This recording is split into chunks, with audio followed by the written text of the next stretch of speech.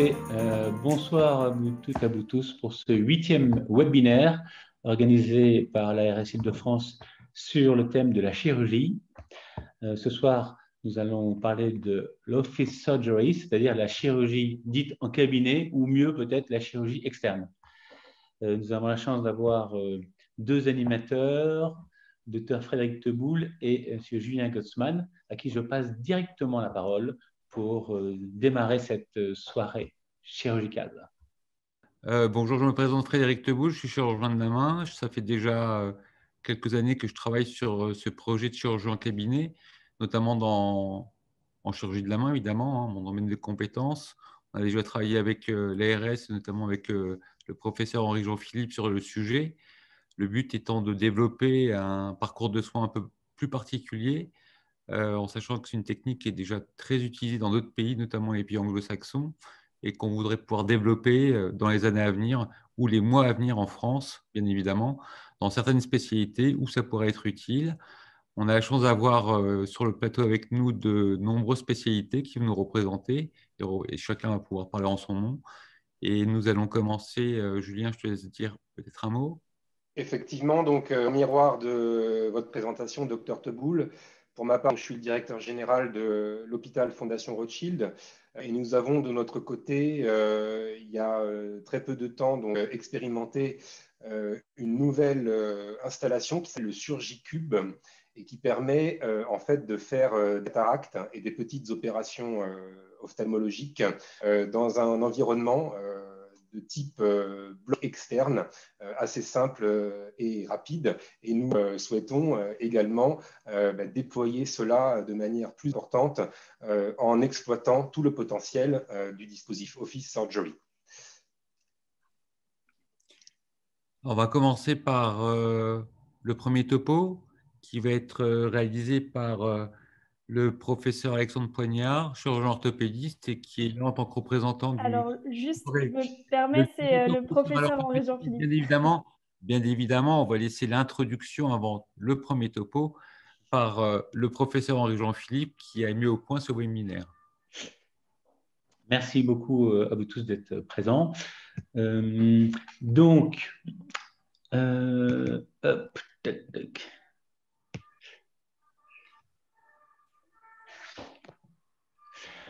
Donc, euh, la chirurgie externe ou office surgery ou chirurgie en cabinet est une pratique qui est courante euh, pour nous tous, pour vous tous, pour des actes simples euh, réalisés sous anesthésie locale.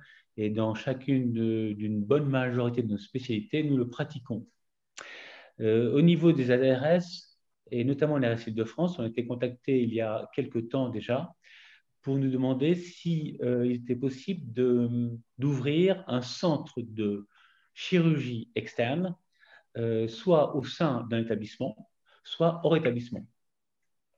Et euh, c'est un travail qui, qui n'a pas été très simple, nous avons avancé dans cette réflexion, mais ce webinaire a été construit finalement pour écouter les usagers, pour écouter les experts, afin qu'ils nous expliquent ben, quelle est leur part aujourd'hui de ce qu'ils pensent être réalisable ou réalisé en chirurgie externe?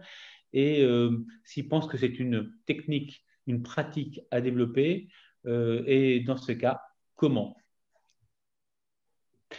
Alors nous allons voir brièvement ben, de quoi s'agit-il pour les non-initiés, euh, de quelles interventions peuvent être réalisées, pourquoi? C'est peut-être intéressant et dans quelles conditions? Donc, c'est une chirurgie externe, c'est une chirurgie qui désigne toute intervention chirurgicale pratiquée par un médecin dans son cabinet ou hors bloc et qui cite différents niveaux d'anesthésie. Alors, en fait, sur le plan euh, international, il y a différents niveaux d'anesthésie qui sont euh, envisagés. Niveau 1, niveau 2, niveau 3. Niveau 1, c'est sous anesthésie locale ou topique. Niveau 2, lorsqu'il y a en plus une sédation modérée, mais qui va donc nécessiter une surveillance post-opératoire. Et niveau 3, c'est lorsque les interventions chirurgicales sont pratiquées sous une sédation cette fois-ci profonde, avec une analgésie euh, qui nécessite donc une surveillance également euh, importante. Eh bien, dans les projets qui sont envisagés, du moins en Ile-de-France, c'est des projets de type niveau 1, c'est-à-dire anesthésie locale ou topique. Alors, de quoi s'agit-il? Il m'a semblé que le plus simple était de vous passer un court euh, film qui explique euh, comment ça se passe pour un type d'intervention, bien sûr. Jeune, sans allergie connue ni antécédents médicaux défavorables, Clémence est une candidate parfaite pour cette opération qui se déroule sur ce plateau technique allégé, sans penseuse ni infirmière. L'avantage par rapport au bloc opératoire, c'est qu'en fait, on a un patient qui est complètement réveillé et qui participe activement au geste. Donc, euh, Là, je lui dis de laisser son bras en l'air, il laisse son bras en l'air, hein. il n'a pas le bras complètement endormi. Et toutes les règles d'asepsie sont aussi parfaitement respectées. Tout le matériel que j'utilise là a été numéroté, stérilisé, comme au bloc opératoire. Ça, par contre, c'est à nos frais. C'est pas anodin. Hein. On a calculé, évalué environ 70 euros par patient. Et c'est pour ça que nous, on a demandé à la Sécu, est-ce que vous pouvez nous verser une petite enveloppe de 70 euros pour les consommables? Bah, pour un moment, ils nous ont répondu, bah, c'est une technique qu'on ne connaît pas. Donc non, non, c'est pas validé. Donc c'est pas grave, euh, là pour le moment c'est notre charge, mais on joue le jeu, on va le développer, et puis au fur et à mesure, je pense que ça va rentrer dans les mœurs. À l'hôpital, pour cette même opération, le surcoût est 7 fois plus élevé. On y va, je pique. Le chirurgien pratique une anesthésie locale en injectant le produit lentement avant d'inciser. Ça va? Ça va. Ok. Pas de douleur? Pas de douleur. Ok, parfait. L'opération prend moins de 10 minutes. Et là, on va arriver sur le ligament. C'est la structure qui est blanc nacré ici. Là. Le principe de l'intervention, c'est d'ouvrir ce ligament, évidemment. Alors vous voyez, on commence à voir l'épaisseur du ligament qui commence à s'ouvrir là. Hein. Je suis passé à la face superficielle du ligament, et là je vais passer à la face profonde du ligament. Là je rentre dans le canal carpien. Hop. Là le ligament est complètement ouvert. L'opération est terminée, quelques points de suture et Clémence est libérée. Ça s'est bien passé. Euh, j'ai pas eu spécialement mal. Le chirurgien, il discute avec moi, c'est sympa. Voilà. Et je rentre à la maison. Et vous allez travailler cet après-midi Je vais travailler cet après-midi et demain. Bien que les risques soient limités, pour pratiquer une telle opération dans son cabinet, le chirurgien a dû obtenir le soutien de son assurance. Nous avons regardé bien évidemment l'ensemble des risques qui accompagnaient cette procédure, tant à la fois au niveau de la, prise en charge chirurgicale que de l'anesthésie locale et du risque d'infection, euh, comme pour toute euh, chirurgie. Sur la partie chirurgicale, il ne faut pas oublier que le docteur Teboul est un des spécialistes de la pathologie. Sur le plan de, l'anesthésie, c'est une anesthésie locale avec bien évidemment un environnement qui permet la prise en charge de complications si besoin. Et enfin, au niveau du risque infectieux, nous avons eu certaines exigences auquel le, docteur Teboul a tout à fait répondu de façon à limiter le risque d'infection. Fréquente aux États-Unis ou encore au Canada, l'opération du canal carpien en cabinet est en période d'évaluation en France. Les autorités de santé ne se sont pas prononcées publiquement sur cette pratique. Quant à Clémence, elle sera remboursée à 100%, comme si elle avait été opérée à l'hôpital.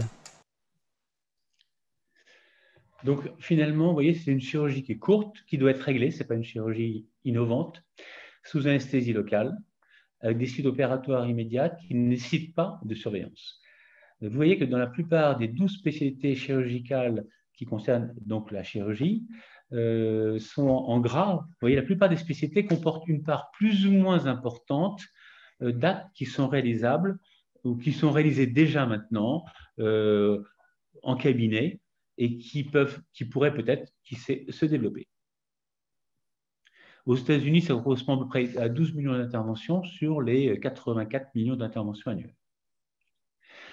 Alors, pourquoi finalement faire cette pratique au cabinet, c'est-à-dire la chirurgie externe, en dehors des blocs opératoires Eh bien, bon, ce court métrage qui évidemment qui n'est pas qui n'est qu'un petit exemple, hein, mais pour le patient, bah, l'évidence c'est plus simple. Il va voir son chirurgien, il opère, il repart. C'est plus rapide, c'est souvent donc moins stressant, il n'y a pas l'atmosphère, c'est-à-dire qu'il ne va pas euh, d'abord euh, aller voir euh, l'infirmière qui l'accueille, ensuite dans une salle de préparation, ensuite aller au bloc, aller dans une salle de surveillance, et ainsi de suite. Donc c'est plus rapide, c'est moins stressant, et au total, une bonne partie des enquêtes qui ont été menées sur ce sujet montrent que c'est satisfaisant. Alors pour les chirurgiens, eh bien, il y a une prise en charge globale de tout euh, la prise en charge chirurgicale par le chirurgien, donc c'est intéressant. Il y a une continuité des soins. Euh, il y a un flux qui est donc plus rapide parce qu'il n'y a pas toutes ces étapes intermédiaires qui ne sont pas très utiles. Et un certain nombre d'études ont montré qu'il y avait peut-être moins d'infections. On s'aperçoit que le passage finalement dans l'établissement qui est une source d'infection nosocomiale est plus court. Donc peut-être moins d'infections. Pour l'établissement, eh le flux est plus important, donc ça peut être intéressant. Euh, le personnel, eh il y a moins de personnel parce qu'il y a pratiquement que le chirurgien. Euh, il y a également des, une libération des, vacations opératoires pour des actes qui, nécessitent euh, une intervention avec un suivi post-opératoire, avec tout le personnel d'accompagnement pendant l'intervention, donc c'est inutile. Mais le problème, c'est que la valorisation est plus faible, c'est-à-dire qu'il n'y a pas de valorisation du séjour parce qu'il n'y a pas de séjour à l'hôpital. le patient, l'équipe chirurgicale va être valorisée uniquement pour l'acte qui est réalisé. Pour la société, eh bien, dans la mesure où il y a un flux plus important, donc l'accès est facilité pour les patients, donc probablement c'est plus simple, donc il y a une plus grande disponibilité. Pour la société, il y a une adéquation des plateaux médico-techniques aux besoins, c'est-à-dire que ce n'est pas la peine d'avoir un gros bloc chirurgical pour faire une intervention extrêmement simple sur anesthésie locale. Et donc ça, c'est un coût. La maintenance, le personnel pour un bloc euh, chirurgical, une salle d'intervention au sein d'un bloc chirurgical. Et au total, ben, pour la société, les dépenses sont réduites. Mais alors, est-ce que ce type d'intervention est sûr? Une des premières études qui a été euh, de référence était celle de Villa, euh, qui a été publiée en 2003. Et là, résultat euh, un peu inquiétant. Euh, vous voyez qu'ils ont comparé 141 000 interventions pratiquées euh, en office surgery, donc en cabinet, versus 2 millions d'interventions pratiquées dans le centre de chirurgie ambulatoire. Et vous voyez que le risque de complications est multiplié par 12 et le risque de mortalité est multiplié par 11. Nous sommes aux États-Unis et aux États-Unis, la justice est terrible. Donc on aurait pu se dire, bah, ils vont arrêter cette technique définitivement. Et ce n'a pas été le cas. Et en fait, euh, probablement pourquoi? Parce qu'aux États-Unis, euh, la chirurgie qui est pratiquée euh, en cabinet comporte différents types de chirurgie, parfois des chirurgies lourdes avec des anesthésies plus ou moins complètes. Vous voyez, nous, ce qu'on envisagerait en France, c'est uniquement le niveau 1.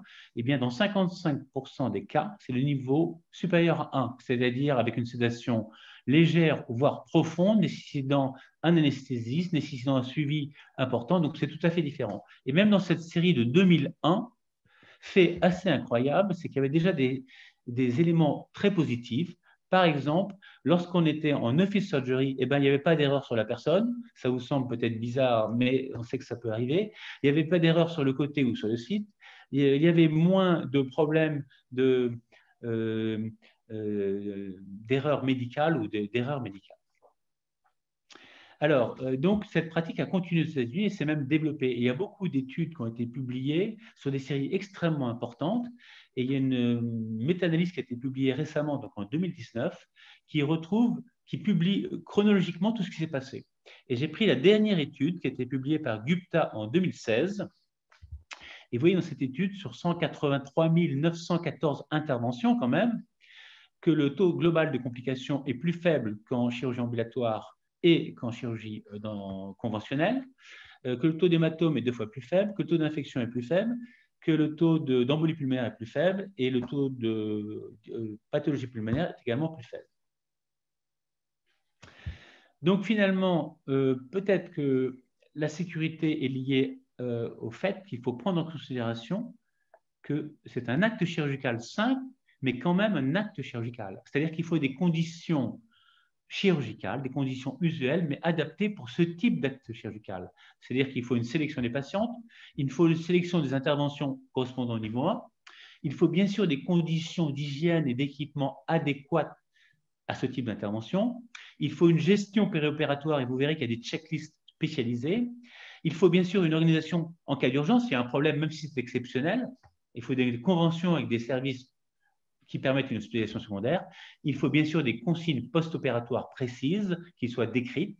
Et enfin, si on met ceci en place quelque part, comme dans tout bloc opératoire, il faut des indicateurs pour permettre d'évaluer nos pratiques pour pouvoir les adapter par la suite.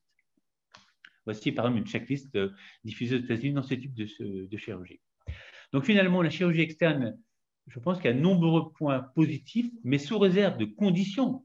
Ce n'est pas un cabinet standard. Aujourd'hui, c'est une pratique qui est fréquente, et nous allons le voir tout à l'heure, mais qui est non cadrée, et c'est peut-être dommage. Demain, je pense que ça sera intégré dans les modalités de réalisation de la chirurgie. Et évidemment, euh, moi, à titre personnel, en tant que référent chirurgie au niveau de la RSI de France, j'ai besoin de l'avis des usagers, l'avis de vous en tant que responsable des disciplines chirurgicales. J'aurais aimé et j'aurai l'avis ultérieurement des institutions. Et peut-être qu'un appel à candidature pour analyse d'organisation serait intéressant. Je vous remercie pour votre écoute pour cette introduction. Merci beaucoup, Henri Jean, pour cette présentation. On a bien noté le, pourcentage des complications qui a évolué dans le temps entre le début de l'officier jury et puis euh, les années récentes. Hein, c'est ça qui est intéressant. Et la sélection des patients, ce qui est fondamental. Hein, je crois que c'est un des points fondamentaux. Et la sélection, évidemment, des pathologies à traiter. Euh, et puis, effectivement, on a encore euh, besoin d'un encadrement et on a besoin de l'aide de la DGOS et de la CNAM pour avancer sur ces projets et de nos sociétés savantes, bien évidemment. Je vais présenter notre premier intervenant, c'est le professeur Alexandre Poignard, qui est chirurgien orthopédiste et qui est secrétaire général du CNP COT. Alors, je vais traduire pour les collègues euh, qui ne sont pas orthopédistes. C'est notre conseil national professionnel en chirurgie orthopédique et qui représente l'ensemble des sous-spécialités et des compétences en chirurgie orthopédique. À vous, merci.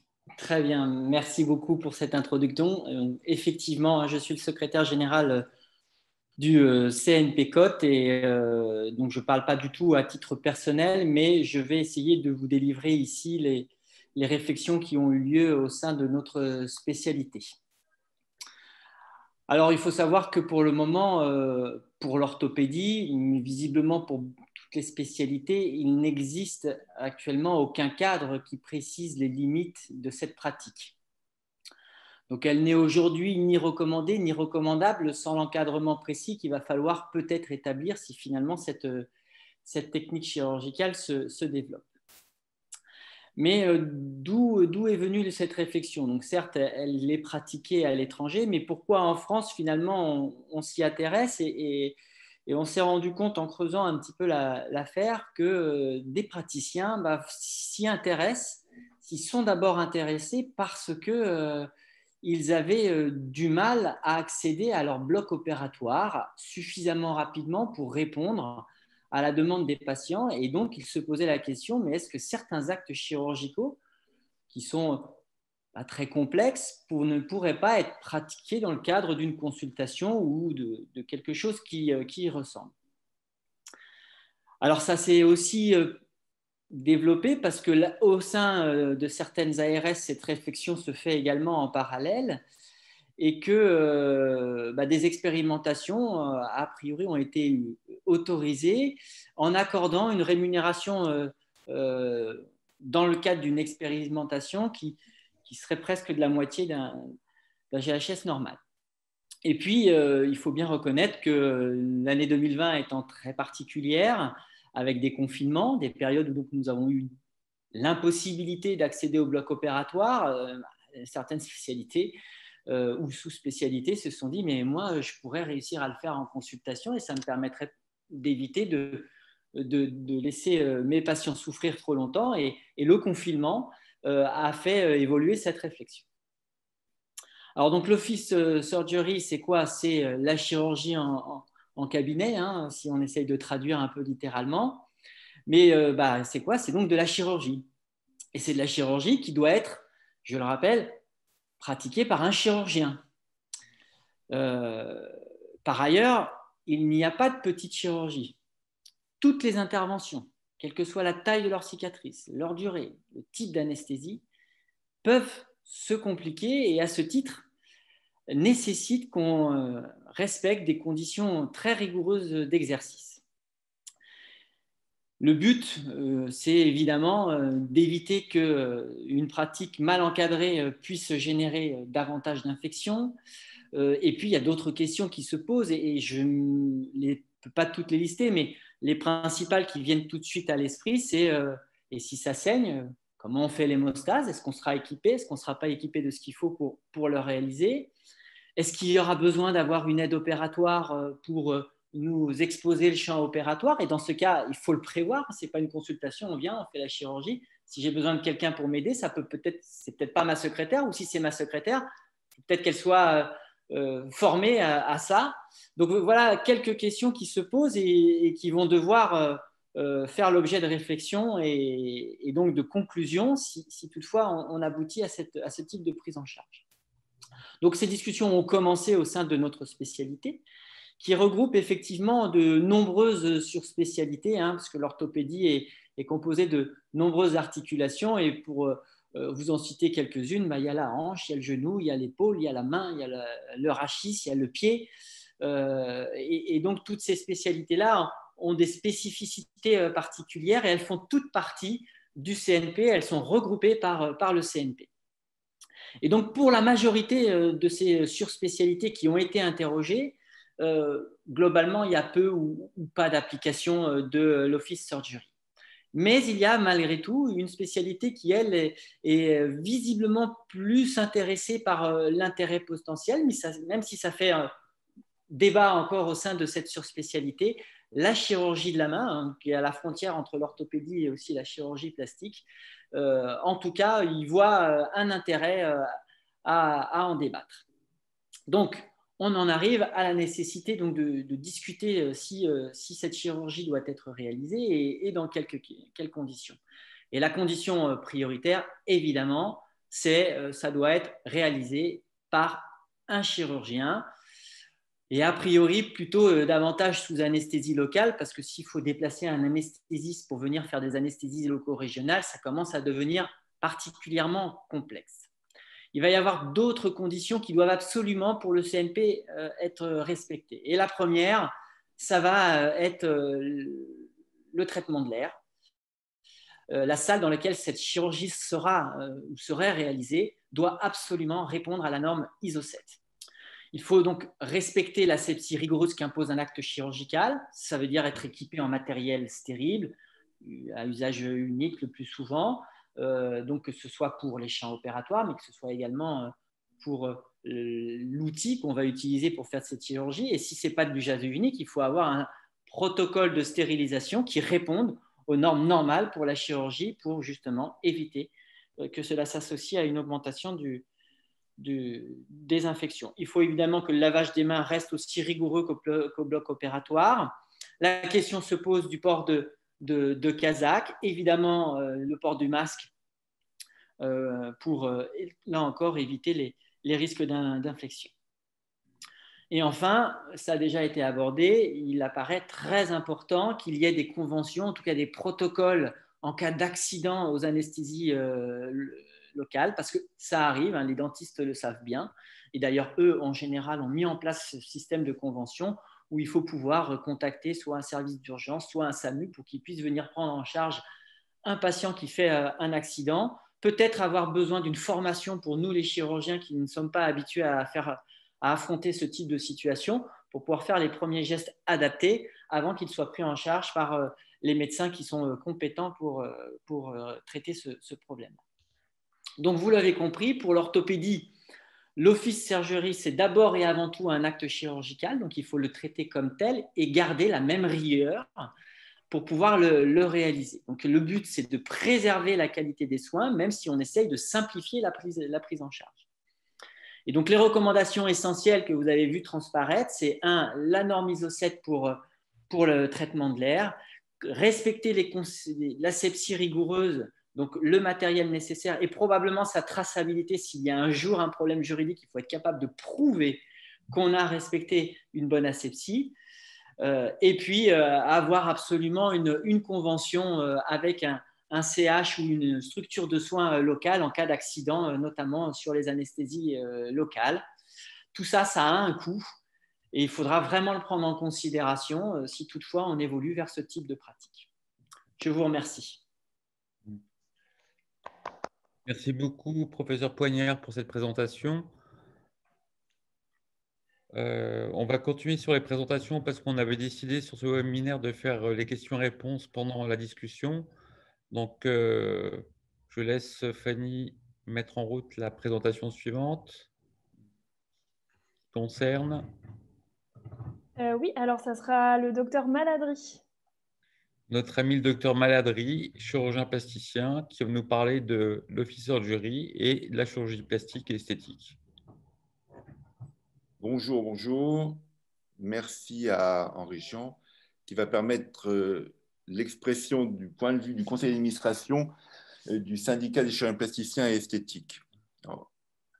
je me suis entretenu avec la plupart de ses membres et donc je vais retranscrire ce qu'ils en pensent actuellement en sachant que comme en chirurgie la main, qu'on fait pas tous, mais un certain nombre, on a d'autres indications. la spécialité n'est pas est un peu comme celle de, l'orthopédie. Il n'y a pas une localisation, il y a beaucoup de localisations et surtout il y a beaucoup de tissus. Ce n'est pas une spécialité d'organes, c'est une spécialité euh, de but, on va dire, qui répare, qui améliore et si possible rend plus beau, que ce soit la, forme ou la fonction d'ailleurs. Euh, et par contre, on a une grande habitude de traiter dans toutes les localisations, tous les terrains, toutes les conditions socio-économiques et en particulier euh, pour certains de mes collègues en mission humanitaire. Et là, on ne parle pas de normes ISO 7, on opère en plein air et ça se passe souvent très bien d'un point de vue infectieux. Euh, et ceci dit, on a quand même quelques contraintes législatives. Il y en a deux. Ces deux contraintes, voilà, ces deux contraintes, c'est en particulier législative sur l'obligation de moyens renforcés pour l'information et également l'interdiction, enfin, que lorsqu'il n'y a pas de prise en charge, de faire intervenir un organisme euh, d'assurance. Le circuit est souvent beaucoup plus court et en fait moins cher lorsqu'il n'y a pas de prise en charge que lorsqu'il y a une prise en charge. Je parle du point de vue du prix global, bien sûr. Hein. Euh, c'est moins cher tout simplement parce que l'assureur n'a pas à se rétribuer ni à payer son propre fonctionnement. Et c'est plus responsabilisant hein, pour le chirurgien. Et en tout cas, euh, pour autant, on ne va pas diminuer, les conditions de sécurité.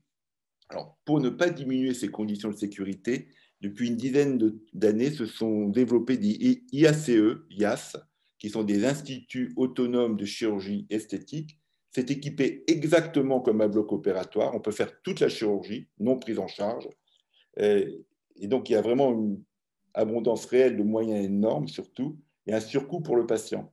Et donc, pour toutes les interventions légères, ce qu'on appelle le niveau 1 qui nous a rappelé Henri Jean-Philippe, c'est trop finalement. Tous les directeurs, tous les propriétaires de ces IACE trouvent qu'il y a beaucoup de petits actes qui sont en quelque sorte encadrés de normes et de sécurité intéressantes, sans doute pour les actes plus importants, mais pour ça, c'est beaucoup trop.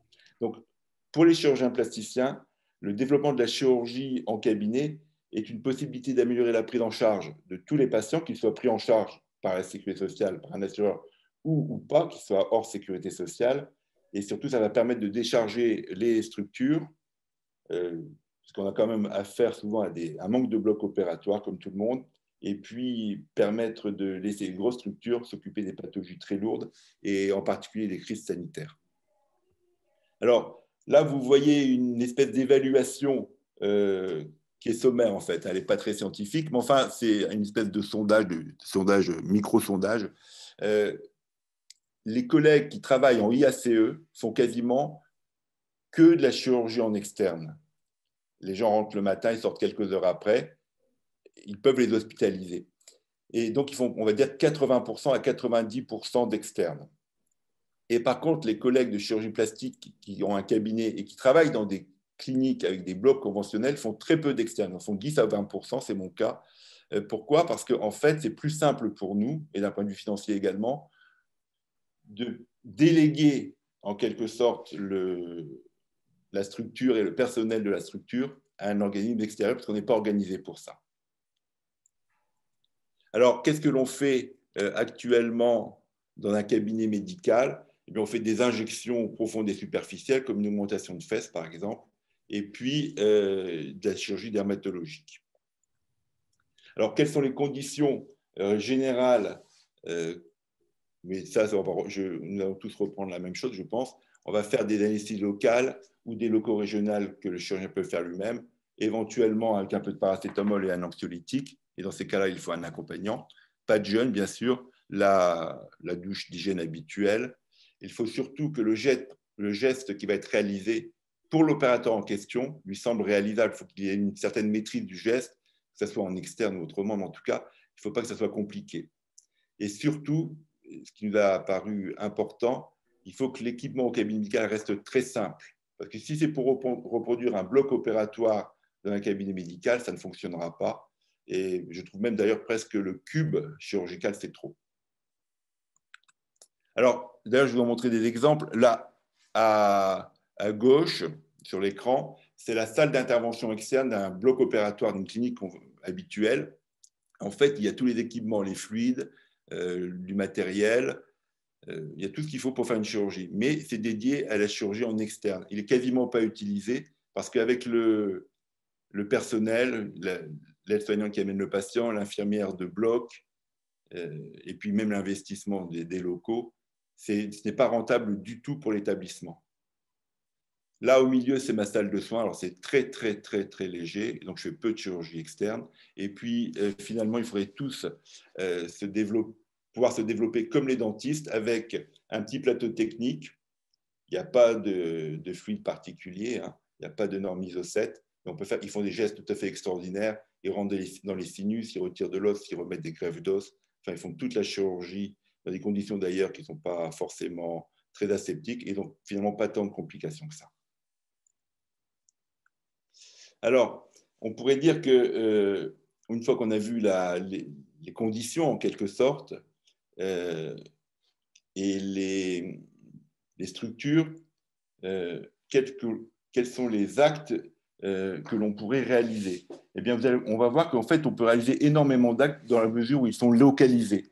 Et on va regarder ça maintenant. Voilà. Donc là, d'un côté, on a à gauche un acte de prise en charge, c'est un ptosis palpébral. Et là, ça se réalise sous anesthésie locale pour régler le raccourcissement du muscle relevant de la paupière. Ça se fait sous anesthésie locale. Et c'est vrai qu'habituellement, on le fait au bloc opératoire. Et là, ça coûte beaucoup plus cher que lorsqu'on fait euh, une chirurgie esthétique des paupières qui se fait également sous anesthésie locale. Ensuite, une reconstruction du nez après exérèse de cancer. Ça, c'est à gauche. À droite, c'est un affinement de la pointe du nez sous anesthésie locale toujours, sans prise en charge. Pareil, les frais de structure à gauche sont beaucoup plus importants qu'à droite parce qu'à gauche, on va le faire au bloc opératoire et à droite, on va le faire au cabinet médical. Et puis ici, c'est un peu le summum euh, du surcoût. C'est un deuxième temps de reconstruction mammaire à gauche. Alors, c'est une patiente qui est prise en charge, qui était prévue en ambulatoire pour une greffe d'aréole et une reconstruction du téton. Alors, elle était rentrée en ambulatoire dans un centre hospitalier universitaire. Son accompagnant, en tout cas la personne qui devait la chercher le soir, a fait faux bon, donc elle est restée hospitalisée. En fait, elle aurait pu être traitée exactement comme cette patiente à droite qui a un téton invaginer. Ça se traite sous anesthésie locale au cabinet, et ça, ça coûte euh, pas grand-chose en fait. Voilà. Et donc finalement, euh, comment régler ce problème de, de coût de façon générale? Eh bien, euh, lorsqu'on fait de la chirurgie esthétique, c'est assez simple puisqu'on n'est pas tellement bridé, puisque les gens savent qu'ils vont participer à leurs soins. Par contre, lorsqu'on fait ce type de soins, dans les cas pris en charge par un assureur, eh bien, on a le problème de, payer la structure ou l'équipement du cabinet. donc là, il faut quand même prévoir, effectivement, on l'a déjà, les autres intervenants l'ont dit, prévoir euh, une espèce de forfait. Alors, ça, c'est ce qui existe en chirurgie esthétique, le payer la structure. Et euh, pour ce qui est des actes pris en charge, on a l'impression qu'effectivement, si on calculait un demi-GHS demi -GHS pour payer une espèce de forfait de soins externes en cabinet, eh bien, à ce moment-là, ça paraît tout à fait adapté puisque on peut considérer que le, dans un acte chirurgical, ce qui en dehors des honoraires du chirurgien, c'est la structure et le personnel de la structure. Et ça, c'est souvent au moins 50% du coût de la structure. Donc, si on redit 50% le GHS, ça paraît correct. Et après, on peut faire des schémas un peu différents. On peut ne pas être forcément isolé dans son cabinet à faire des actes programmés sous local. On peut prévoir des plateaux techniques d'anesthésie locale, en particulier dans l'IAS. Alors, les avantages, c'est qu'il y aura moins de risques pour le patient, ça a été rappelé. Exactement, ça va libérer des moyens humains pour les pathologies lourdes ou les interventions extrêmement lourdes. Et ce qui a été également souligné au syndicat, c'est que s'il y a un forfait de soins externes en cabinet conséquent, 50% du GHS, il ne faut quand même pas pour autant euh, supprimer la liberté euh, tarifaire des honoraires, car dans ces cas-là, on craint beaucoup euh, d'avoir au bout de quelques années une impossibilité de travailler dans de bonnes conditions et donc à ce moment-là, euh, de ne pas travailler euh, correctement et d'avoir une espèce de chirurgie au rabais qui serait inadmissible. Et finalement, on serait très partisan en chirurgie plastique de cabinets médico-chirurgicaux, de chirurgie plastique, donc avec prise en charge, où il y aurait des actes sécurité sociale, par exemple, et des actes sans prise en charge. Et finalement, comment on peut avancer? Eh bien, Nous, on propose de faire des expérimentations dans certains cabinets euh, avec des actes choisis. Le règlement pour les actes pris en charge d'un demi-GHS, comme ça, on aurait peut-être trois paliers qui ne sont pas les paliers d'anesthésie, mais le palier des actes très légers en office surgery, un peu plus lourd avec un peu de surveillance à la chirurgie ambulatoire, puis après les actes très lourds avec de la réanimation, par exemple, qui seraient les blocs habituels que l'on connaît tous. Voilà, et les trois points qui nous semblent importants pour favoriser la chirurgie en cabinet, eh bien, c'est effectivement le paiement de la structure du cabinet et ne pas nous surcharger de réglementation et d'équipement. Ça doit rester extrêmement simple, ça doit rester un cabinet dentaire en fait. Il ne faut pas reproduire un bloc. Et puis, euh, qui va choisir le type d'actes qui vont être réalisés ben, C'est le chirurgien lui-même, mais en priori, il n'y aura pas beaucoup de divergence avec les autres spécialités. Je vous remercie. Merci beaucoup. Merci beaucoup, euh, David. Et restez exactement sur les 10 minutes 36 secondes. C'est parfait. Bien, on enchaîne euh, avec la présentation du professeur euh, Baram Bodagui, qui est PUPH Université Paris-Sorbonne et également chef de service d'ophtalmologie à la Pitié-Salpêtrière et spécialisé dans le domaine de l'inflammation et des infections, et notamment des, des uvéites. Vous avez la parole, professeur. Bonjour et merci, Monsieur Gottsman. Est-ce qu'on voit mes diapositives? Oui, c'est bon. Ah, parfait. Alors, je, je voulais remercier euh, avant tout le, professeur Philippe pour euh, son invitation. Il y a beaucoup de choses qui ont été déjà dites par les, les collègues et je vais essayer de focaliser un peu plus sur euh, l'ophtalmologie et la chirurgie ophtalmologique. Je suis secrétaire général de la Société française d'ophtalmologie et membre du CNP. Je ne parle pas en leur nom, bien sûr, mais je remercie Thierry Bourg, le président du syndicat national des ophtalmologistes de France, et Béatrice Kochner, présidente de notre CNP, avec qui nous avons échangé. Alors, une des spécialités, bien sûr, éligibles pour, cette, pour l'office surgery reste l'ophtalmologie, avec plusieurs indications potentielles. Euh, je ne vais pas en 10 minutes euh, les aborder euh, toutes, mais bien sûr, j'ai choisi de discuter la chirurgie de l'extraction du cristallin, qui approche la barre du million par an en France, qui est un acte très technique, bien codifié, qui est donc potentiellement éligible. L'étiologie est bien sûr surtout liée à l'âge et au diabète actuellement. Les techniques d'anesthésie se sont quand même euh, particulièrement euh, simplifiées, même si nous avons encore l'anesthésie topique plus ou moins renforcée. Et on a assisté depuis une vingtaine d'années au développement déjà majeur de l'ambulatoire, 85 à 95 des cas, alors qu'il y a une trentaine d'années, les patients passaient encore une dizaine de jours à l'hôpital après l'intervention. C'est majoritairement pratiqué en clinique, toujours. Et euh, une des notions que nous n'avons pas abordées, c'est bien sûr la notion de territoire et la prise en charge des patients, surtout on a vu à l'ère du Covid, proches de leur lieu de résidence. Ça rejoint un tout petit peu aussi les déserts médicaux. Alors, le, euh, l'état des lieux, l'expérience euh, a eu lieu déjà pour euh, l'office surgery qui n'a pas actuellement, euh, pour la chirurgie de la qui ne se pratique pas actuellement au cabinet, en cabinet, mais il y a une quinzaine d'années, ça a été testé par une quinzaine de collègues qui avaient un accès difficile au plateau technique opératoire et qui ont trouvé qu'il y avait euh, une possibilité de développer cette chirurgie. Il n'y a pas eu beaucoup de, il n'y a pas eu de complications significatives, mais euh, le, problème, c'est que ça a été arrêté pour euh, des, problèmes de coûts, difficultés de la certification, et il y a actuellement, pour cette chirurgie de la cataracte, peu d'équivalents en Europe et aux États-Unis, dépendant surtout du tissu des établissements de santé dans chacun de ces pays. Alors, pour l'anesthésie, ça, ça reste un critère extrêmement important et on a eu une note de la HAS euh, pendant le confinement sur les conditions de réalisation et les environnements requis dans le cadre de la prise en charge de cette chirurgie, avec le parcours 1 que vous connaissez, avec l'ensemble des techniques d'anesthésie qui peuvent être utilisées et où la présence de l'anesthésiste, bien sûr, est, est indispensable.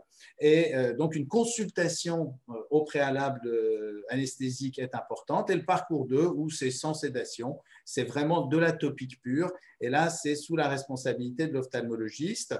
Et euh, ce qui était important et qui a été dit, c'est qu'il ne, peut pas y avoir de recours à l'anesthésie s'il n'y a pas eu euh, cette consultation préanesthésique. Pour nous, c'était un, peu, euh, un petit peu surprenant d'avoir cette note arrivée. et je pense que c'était important aussi, heureusement, des travaux avaient été effectués. Là, je vous donne l'expérience de la pitié salpêtrière, où nous avons publié avec nos collègues anesthésistes euh, un article sur le circuit court sécurisé qu'on a mis en place parce qu'on pense que cette chirurgie peut quand même avoir des complications et il faut avoir un environnement euh, où la sécurité va être euh, renforcée et assurée. Donc, cette publication, c'est entre novembre 2015 et novembre 2017. Les chirurgies de la cataracte pratiquées dans notre établissement. Avant le bloc, il n'y a pas eu de consultation d'anesthésie sur les patients qui ont été éligibles et inclus. Euh, à l'unité de chirurgie ambulatoire, il y a eu la mesure des paramètres physiologiques, la prémédication, mise en place des électrodes. Euh, pendant le bloc opératoire, il n'y avait pas d'infirmière anesthésiste, pas d'anesthésiste en salle. Et après le bloc, les patients sont remontés à l'unité de chirurgie ambulatoire avec une surveillance post-opératoire. Euh, il y a voilà, ces critères d'exclusion, le, psychisme défavorable, notamment la, claustrophobie, et puis plusieurs autres que vous voyez ici les problèmes de communication, notamment chez certains patients qui peuvent avoir euh, donc euh, aussi des, problèmes ORL et d'audition. Euh, pendant le bloc, donc un collier anesthésique par l'IBOT cette fois-ci, surveillance par un scope, le saturomètre et le brassard. Je sais que rarement dans certains centres, les patients ne sont pas perfusés, mais nous sommes opposés à cela. Euh, à la pitié salpêtrière. Le résultat, donc, euh, vous voyez sur cette période, 2744 patients évalués, donc 1592 éligibles, et il y a eu donc, je vous montre euh, simplement les actions. Ça s'est bien passé, bien sûr, dans la grande, très grande majorité des cas. Les actions pour un motif médical, il y a eu des actions éventuellement et rarement pour une complication chirurgicale. Pour le motif médical, l'intervention de l'anesthésiste en 5% des cas, ce qui représentait 79 interventions. Et vous voyez ici que c'était principalement l'hypertension artérielle un peu des problèmes de glycémie, le saturomètre, des, problèmes qui étaient faciles à régler. Et euh, ce qui est intéressant dans cette étude, c'est qu'on a montré que l'association d'hypertension artérielle et du diabète insulino-dépendant était plus particulièrement liée aux interventions anesthésiques péropératoires. Il n'y a pas eu d'arrêt cardio-respiratoire. Je finirai avec le Surgicube et euh, je rendrai hommage donc à la Fondation Rothschild euh, et qui a pu donc pour la première fois en France utiliser cet environnement opératoire qui permet d'avoir euh, un environnement ISO 7 et qui permet euh, d'avancer avec une simplification encore de, la procédure chirurgicale. Et nous allons euh, à la pitié salpêtrière également en faire l'acquisition et utiliser en termes d'expérimentation et après utilisation à plus large échelle ce surgicube.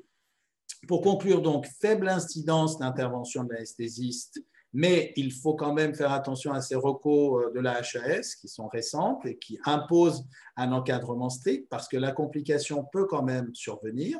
Demande croissante de chirurgie pour cette indication avec le vieillissement de la population, mais il y en a d'autres. On a vu l'exemple des paupières et on peut aller même jusqu'à euh, l'exemple de la chirurgie, certaines chirurgies vitro-rétiniennes optimisation du parcours patient au sein d'une procédure sécurisée, la présence d'un anesthésiste qui pourrait se déplacer en moins d'une minute, pour nous, le circuit court sécurisé, c'est extrêmement important.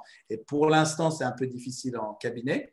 Et euh, la COVID qui a, avec les déserts médicaux, ça fait deux paramètres qui pourrait nous faire revisiter nos protocoles avec des expériences dans des centres médicaux de proximité. Alors, est-ce que ce sont des centres médico-chirurgicaux de proximité, mais qui sont bien sûr, qui ne sont pas des cliniques et qui pourraient euh, faire l'expérimentation de ce type de, euh, procédure euh, au service de la population au niveau du territoire, et c'est un mot auquel je, tiens beaucoup.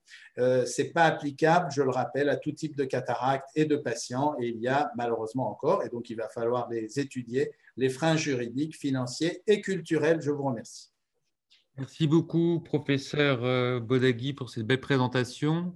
Nous allons avoir maintenant la présentation de notre collègue gynécologue pour voir l'intérêt éventuel de l'office surgerie dans cette spécialité, le docteur Villefranc. Bonsoir à tous. Euh, merci pour votre introduction. Merci à Henri Jean pour son invitation. On va parler un peu office, euh, office surgery, donc chirurgie gynécologique en cabinet. Alors en fait, on connaît tous cet environnement du bloc opératoire qui nécessite beaucoup de gens, beaucoup de moyens. Au bloc opératoire, vous voyez, euh, finalement, on, introduit beaucoup de gens entre le chirurgien, son aide, l'IBOT, l'anesthésiste, l'infirmière anesthésiste, l'aide-soignant, le brancardier. Tout autour, on a un autre environnement qui coûte aussi cher et qui nécessite beaucoup de moyens. Il y a la salle de réveil, les services d'hospitalisation, toute la structure de l'hôpital. Tout ça, c'est beaucoup de moyens. Lorsqu'on regarde une salle, d'intervention, là aussi, ça nécessite de, nombreux matériels. Pour, mémoire, hein, je vous rappelle, une colonne de, c'est 80 000 euros. Une table d'intervention, c'est 50 000. Une unité d'anesthésie, c'est 50 000 euros. Un bistouri électrique, c'est 20 000 euros. Donc, vous voyez que tout ça, à la fois le matériel, à la fois le personnel, c'est quelque chose d'extrêmement onéreux, dont on a besoin bien sûr, mais peut-être qu'on n'en a pas besoin pour tous les types d'interventions. Un bloc opératoire, je vous rappelle, c'est entre 600 et 1000 euros de l'heure, donc il faut savoir l'utiliser correctement. C'est nos sous à tous, et si on veut pouvoir soigner euh, de manière efficace, euh, avec la meilleure qualité et le maximum de gens, il faut faire attention à nos sous. Pour la patiente, euh, l'hôpital, l'intervention chirurgicale au bloc opératoire, c'est très contraignant. Ça veut dire qu'il y a plusieurs venues à l'hôpital. Il faut venir voir le chirurgien, il faut voir l'anesthésiste, faut passer aux admissions, faut venir à l'hôpital plusieurs heures avant l'intervention. Il y a même des hôpitaux où on vous, hospitalise la veille de l'intervention. Et puis, euh, tout ça, ça va, ça, va être compliqué. Vous avez un circuit qui est angoissant. On vous met tout nu, on vous met sur un, sur un brancard on vous passe dans des couloirs, on vous amène au bloc opératoire où il, faut, il fait froid, vous avez toujours peur de faire un, problème sur votre anesthésie générale ou le corps régional. Ça vous monopolise au minimum une demi-journée à l'hôpital parce que la structure de l'hôpital, c'est quelque chose de difficile à faire tourner. Et puis derrière, vous avez un arrêt de travail, donc vous arrêtez votre activité. Ce n'est pas toujours simple. En cabinet, euh, les choses sont un peu différentes. Je vous montre un petit peu la, structure que nous, on a depuis maintenant plus d'une dizaine d'années. Euh, c'était des unités où on a à la fois la consultation, les explorations et à la fois le traitement. Vous voyez, là, c'est une unité euh, classique. On a trois pièces, euh, trois salles comme ça dans notre, dans notre service. Vous avez à, la fois donc, de quoi faire votre consultation, accueillir la patiente, à la fois de quoi faire les explorations. Vous voyez à gauche un échographe, à droite une, colonne d'endoscopie. Et donc, pour des patients qui viennent ne, serait-ce que pour des saignements euh, gynécologiques, ben, vous avez tout ce qu'il faut pour explorer. Et du coup, si vous explorez bien, vous pouvez, vous pouvez traiter de manière euh, très ciblée euh, la patiente. Donc, lui amener à un traitement qui soit pertinent et puis adapté. Et vous verrez qu'il y a plein de choses qu'on peut faire au cabinet et souvent même dans le même temps que l'exploration. Donc pour la patiente, c'est une prise en charge qui est évidemment comme celui d'une consultation. On a la possibilité d'une séquence diagnostic-traitement, c'est beaucoup moins angoissant. C'est une seule venue. Hein. Vous ne venez pas euh, une fois pour voir le chirurgien, euh, une autre fois pour faire l'échographie, une autre fois pour faire l'hystéroscopie, puis une, autre fois pour voir l'anesthésiste, et puis une dernière fois pour passer au bloc opératoire, et puis encore une fois pour la visite post-opératoire. Vous venez une fois, et puis vous reviendrez dans un mois pour le résultat de votre anapath. Alors, quels sont les gestes? Alors, dans les gestes, une des plus grosses activités, c'est tout ce qui est l'endoscopie, diagnostic. D'accord? Vous voyez avec les différents types de lésions qu'on peut diagnostiquer euh, en haut à droite. C'est des choses qui se font tout à fait facilement et, de manière tout à fait acceptable pour les patientes euh, en consultation. C'est la recommandation des sociétés savantes. Hein. Aujourd'hui, on dit qu'une hystéroscopie diagnostique, ça doit être fait sans anesthésie en première intention, en vaginoscopie. Donc, il n'y a aucune raison que ça se fasse au bloc opératoire. Hein. Ça se fait très bien en consultation. Sauf que dans la vraie vie, ben, vous regardez, dans la vraie vie, il y a 20 000 hystéroscopies diagnostiques faites en France au bloc opératoire. Donc ça veut dire que ces patientes, elles ont fait tout le, circuit, elles se sont mangées toutes les contraintes du circuit de, l'hôpital ou, de l'hospitalisation traditionnelle. donc pour les patientes, ce n'est pas bien, mais en plus pour votre société, bah, vous voyez que ça nous coûte plus de 16 millions d'euros par an. Alors que donc ça nous revient, grosso modo, une hystéroscopie nous revient à nous tous 800 euh, euros l'hystéroscopie, alors qu'en consultation, c'est valorisé à la hauteur de 62 euros euh, par la, consultation. Donc, ça coûte quasiment 15 fois plus cher si vous passez au bloc opératoire, alors que les patients préfèrent que ça soit fait en consultation.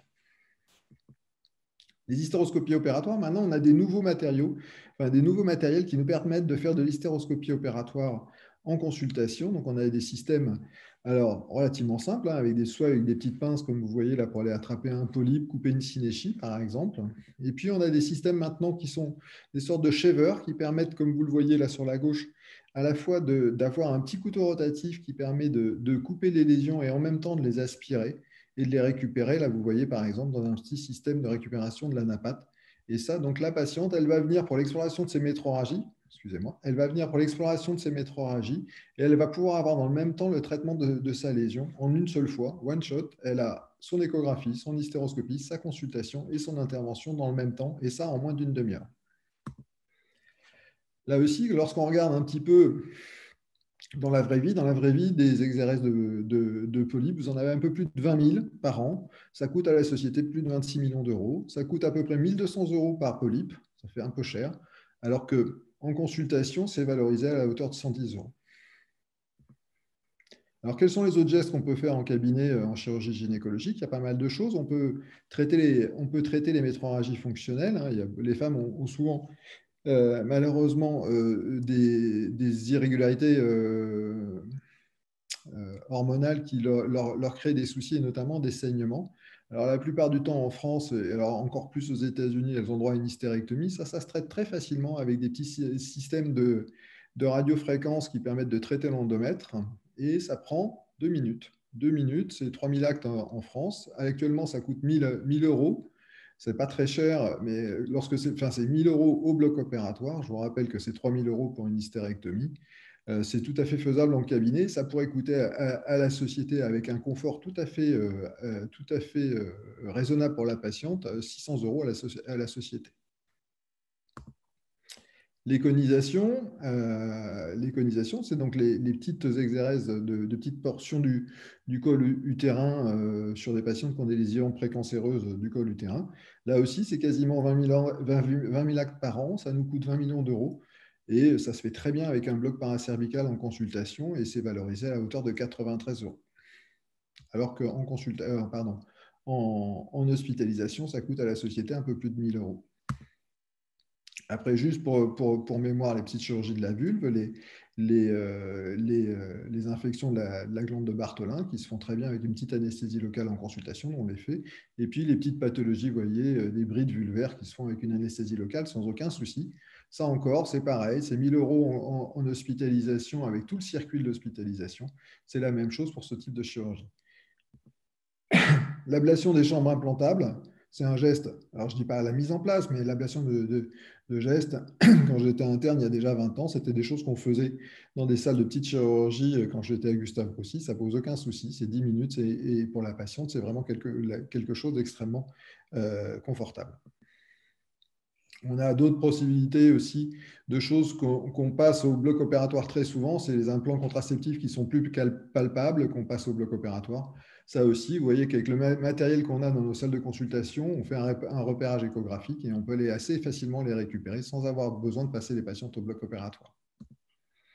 Alors, les limites de tout ça, eh ben, je vous l'ai dit, toutes ces interventions dont je vous ai parlé, les principales qui représentent plus de 60 millions de dépenses pour la, société euh, chaque année. Euh, en effet, bah, une hospitalisation, ça coûte entre 800 et 1200 euros, d'accord? Lorsque vous les faites au cabinet, euh, c'est ce qu'ont dit plusieurs de mes collègues avant, le problème c'est que ça coûte cher et que notamment lorsque je vous montrais les, techniques de résection de polype, bah, le, petit shaver pour, pour réséquer le polype, il coûte entre 500 et 600 euros. Et euh, si moi, je dois facturer 110 euros la résection de mon polype, eh ben, à chaque fois, je vais perdre 500 euros. C'est un, petit peu, un, euh, un, un, petit peu dommage. Alors, on commence depuis cette année, On a une, des textes qui sont en train de sortir qui vont nous permettre de valider et de facturer des GHS. Alors, heureusement, parce que sinon, à chaque fois, on va perdre beaucoup d'argent, mais c'est vraiment l'avenir. C'est vraiment l'avenir dans la qualité des soins, c'est-à-dire pour les patientes. C'est aussi important parce que le bloc opératoire, on l'a dit, ça coûte cher et il faut optimiser nos moyens. C'est-à-dire qu'en effet, lorsque vous monopolisez du, matériel et du personnel, il faut qu'on ait besoin de tout ce personnel et de tout ce matériel parce que tout ça, ça coûte cher. Et puis surtout, surtout, il euh, ne faut pas faire l'erreur qu'on a fait lorsqu'on nous a vendu la chirurgie ambulatoire. C'est bien de le faire parce que c'est mieux pour la patiente. D'accord? C'est une meilleure prise en charge pour les patientes, c'est moins angoissant. Euh, c'est beaucoup plus efficient. Hein. La patiente, elle vient qu'une fois, son, exploration, son diagnostic et son traitement dans le même temps. On utilise mieux les, moyens. Et, puis, vous voyez, il y, a, un enjeu financier qui est important pour la société. C'est de l'argent qu'on va pouvoir utiliser pour soigner, pour soigner mieux les gens et pour soigner plus de gens. Voilà. Donc, et malheureusement, c'est ce que je vous disais en dernier, bah, il va falloir qu'on trouve en effet avec la DGOS des manières de revaloriser ce, ce type de prise en charge pour qu'en effet ça soit rentable quand vous le faites au cabinet et que la société, la société puisse s'y retrouver. Voilà, je vous remercie. Merci beaucoup pour euh, cette belle présentation pour la gynécologie. Moi, j'ai découvert plein de choses, évidemment. Hein, en tant que chirurgien de la main, j'étais un peu perdu, mais j'ai découvert plein de choses. C'est très intéressant. Et je vais laisser euh, Monsieur Gottsman. Je vais... Voilà, donc nous allons maintenant euh, entendre le docteur Patrick Yves Blanchard le docteur Patrick euh, Yves Blanchard, donc, qui est stomatologiste, qualifié en orthopédie dentomaxillofaciale et spécialiste en chirurgie maxillofaciale et, et stomatologie, et il exerce en libéral euh, Maison Lafitte. À vous, docteur Blanchard. Oui, bonjour. Alors, euh, premièrement, je pense que ça va fonctionner. Vous me captez là? Oui, c'est parfait. Bien. Alors, pour compléter un petit peu la présentation, je suis en effet chirurgien maxillofacial et stomatologiste. Euh, j'exerce euh, à 50% à l'hôpital de Villeneuve-Saint-Georges. Euh, et le reste de mon activité est à la fois en clinique au Parc Monceau et en cabinet à Maison Lafitte. Je suis vice-président du CNP de chirurgie maxillofaciale et vice-président de la Société française de stomatologie, chirurgie maxillofaciale et chirurgie orale. Donc, je vais parler non pas en mon nom, mais en tant que représentant de l'ensemble de notre collectivité euh, pour vous expliquer que bah, chez nous, ça fait très très très longtemps qu'on pratique la chirurgie au cabinet. En effet, on va le voir euh, ensuite, c'est-à-dire qu'on a une confusion régulière avec notre exercice et l'art dentaire.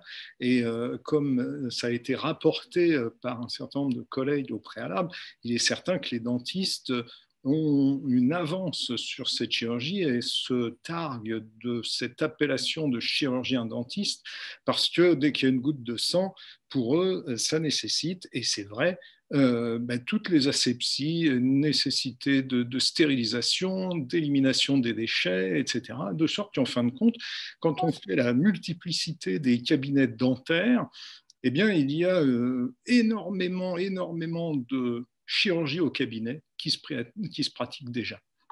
Alors, euh, je ne reviendrai pas, comme tout le monde l'a dit, sur la rationalisation de l'offre de, soins avec le contrôle des coûts, euh, mais surtout sur le fait que actuellement, bah oui, tout le monde fait ça un petit peu en se débrouillant euh, parce que c'est un service rendu aux patients et parce que c'est possible dans la mesure où on a pu bénéficier euh, bah, des compléments sur honoraires avec le secteur de. Sinon, il est certain qu'au niveau du tarif sécurité sociale, c'est extrêmement difficile, on va, on va y venir. La, véritable problématique, c'est justement euh, la sécurisation des parcours de soins pour les patients, car euh, sans dévoiler des secrets de polichinelle, on sait très bien qu'il y a un certain nombre de structures qui sont loin d'appliquer euh, les protocoles comme ils devraient l'être. Sur un plan pratique, donc la chirurgie maxillofaciale donc, se, divise en quatre domaines que je rappelle là pour que tout le monde ait bien tout ça en tête. On a la chirurgie des tumeurs et il est évident que là-dedans la carcinologie euh, ne sera jamais euh, éligible, même si les biopsies pourraient potentiellement se faire au cabinet. de toute façon, ça doit passer dans des services agréés, et donc on n'en parle pas. Par contre, dans toutes les autres lésions bénignes, et particulièrement, comme disait le docteur Madrid tout à l'heure, toute la chirurgie cutanée faciale avec tous ces basos, etc., ça c'est typiquement éligible à la chirurgie en cabinet, on le reverra. En matière d'orthopédie faciale, eh bien, il est évident que la chirurgie traumatique est éligible uniquement à l'hospitalisation. Les malformations osseuses du fait d'une chirurgie sous anesthésie générale, là, on n'en parle même pas au cabinet. Par contre, en ce qui concerne la pathologie de l'articulation temporomandibulaire, on, on, fait régulièrement des infiltrations qui nécessitent euh, une asepsie chirurgicale comme euh, dans toutes les zones euh, opérées. Et donc, c'est un domaine tout à fait éligible, qui n'apparaît jamais d'ailleurs dans la chirurgie pratiquée au bloc opératoire. Je ne reviens pas sur la plastique faciale, puisque donc on en a un petit peu parlé, ça rejoint les injections, et il est évident qu'un certain nombre de confrères euh, chirurgiens maxillofaciaux euh, font des injections dans les cliniques euh, en faisant ça dans le cadre de leur salle de consultation et pas du tout dans le bloc opératoire. Et enfin, pour finir, la chirurgie orale, qui est tout à fait identifiable dans le cadre des, des avulsions dentaires et qui se termine par euh, les chirurgies beaucoup plus lourdes sous la forme d'implants et les chirurgiens dentistes sont engouffrés dans ce domaine qui n'est pas nomenclaturé, de manière justement à subventionner leurs installations de plus en plus sophistiquées. À ce sujet, il existe une recommandation HAS de 2008, on le reverra peut-être, qui explique bien les conditions minimales requises pour faire euh, de la chirurgie euh, dans de bonnes conditions. Alors, qui fait quoi et les limites de nos champs de compétences C'est toute la problématique, c'est-à-dire que la spécialité est divisée entre les chirurgiens maxillofaciaux, les chirurgiens maxillofaciaux et stomatologistes, les stomatologistes, maintenant les chirurgiens oraux qui peuvent être de double obédience, soit de formation dentaire, soit de formation euh, médicale. Euh, mais aussi un certain nombre d'activités, d'actes de notre domaine sont réalisés, bien entendu, par les plasticiens, les ORL et bien entendu les dentistes et les dermatos. Euh, on a été particulièrement euh, sensible, nous, dans notre discipline, euh, avec la modification en 91 des frais de salle dans les établissements pour la chirurgie pratiquée en externe. En effet, autrefois, les stomatologistes chirurgiens maxillofaciaux s'installaient bien volontiers dans les établissements privés et avaient une activité à 70% faite en, externe avec donc des patients pour lesquels l'établissement percevait euh, une fois le cas pour rémunérer euh, euh, le, plateau technique dans le cadre de, cet exercice en externe. En fait, ça rejoignait ce qui se passe en chirurgie au cabinet. Dans la logique des choses, pour des raisons économiques, ces frais de salle ont été supprimés et ça a été immédiat, tous les stomatologistes ont quitté les cliniques pour aller s'installer en libéral, puisqu'ils n'avaient plus euh, un intérêt économique direct, tant qu'à faire, autant ne pas avoir les contraintes d'un plateau technique un peu plus compliqué et le partage des salles. Euh, il y a eu un désengagement progressif des complémentaires santé qui ont nuit de plus en plus, euh, depuis une vingtaine d'années, à la possibilité de la prise en charge de compléments d'honoraires, euh, de sorte qu'en fin de compte, les contraintes économiques ont, modifié d'une façon substantielle l'exercice au cabinet. Je ne rappelle pas qu'en 2005, il y a eu la loi encadrant la chirurgie esthétique en décembre. Euh, les rappels sur la prévention des infections liées aux soins en matière de chirurgie orale, maxillofaciale, stomatologique, ça c'est quelque chose qui était ancien mais qui a été extrêmement réactivé euh, depuis 2005-2006. Les conditions d'acte en implantologie, j'en ai parlé en 2008, mais surtout en 2010, à titre personnel, j'avais été sollicité par les niveaux d'environnement technique pour les actes interventionnels en ambulatoire.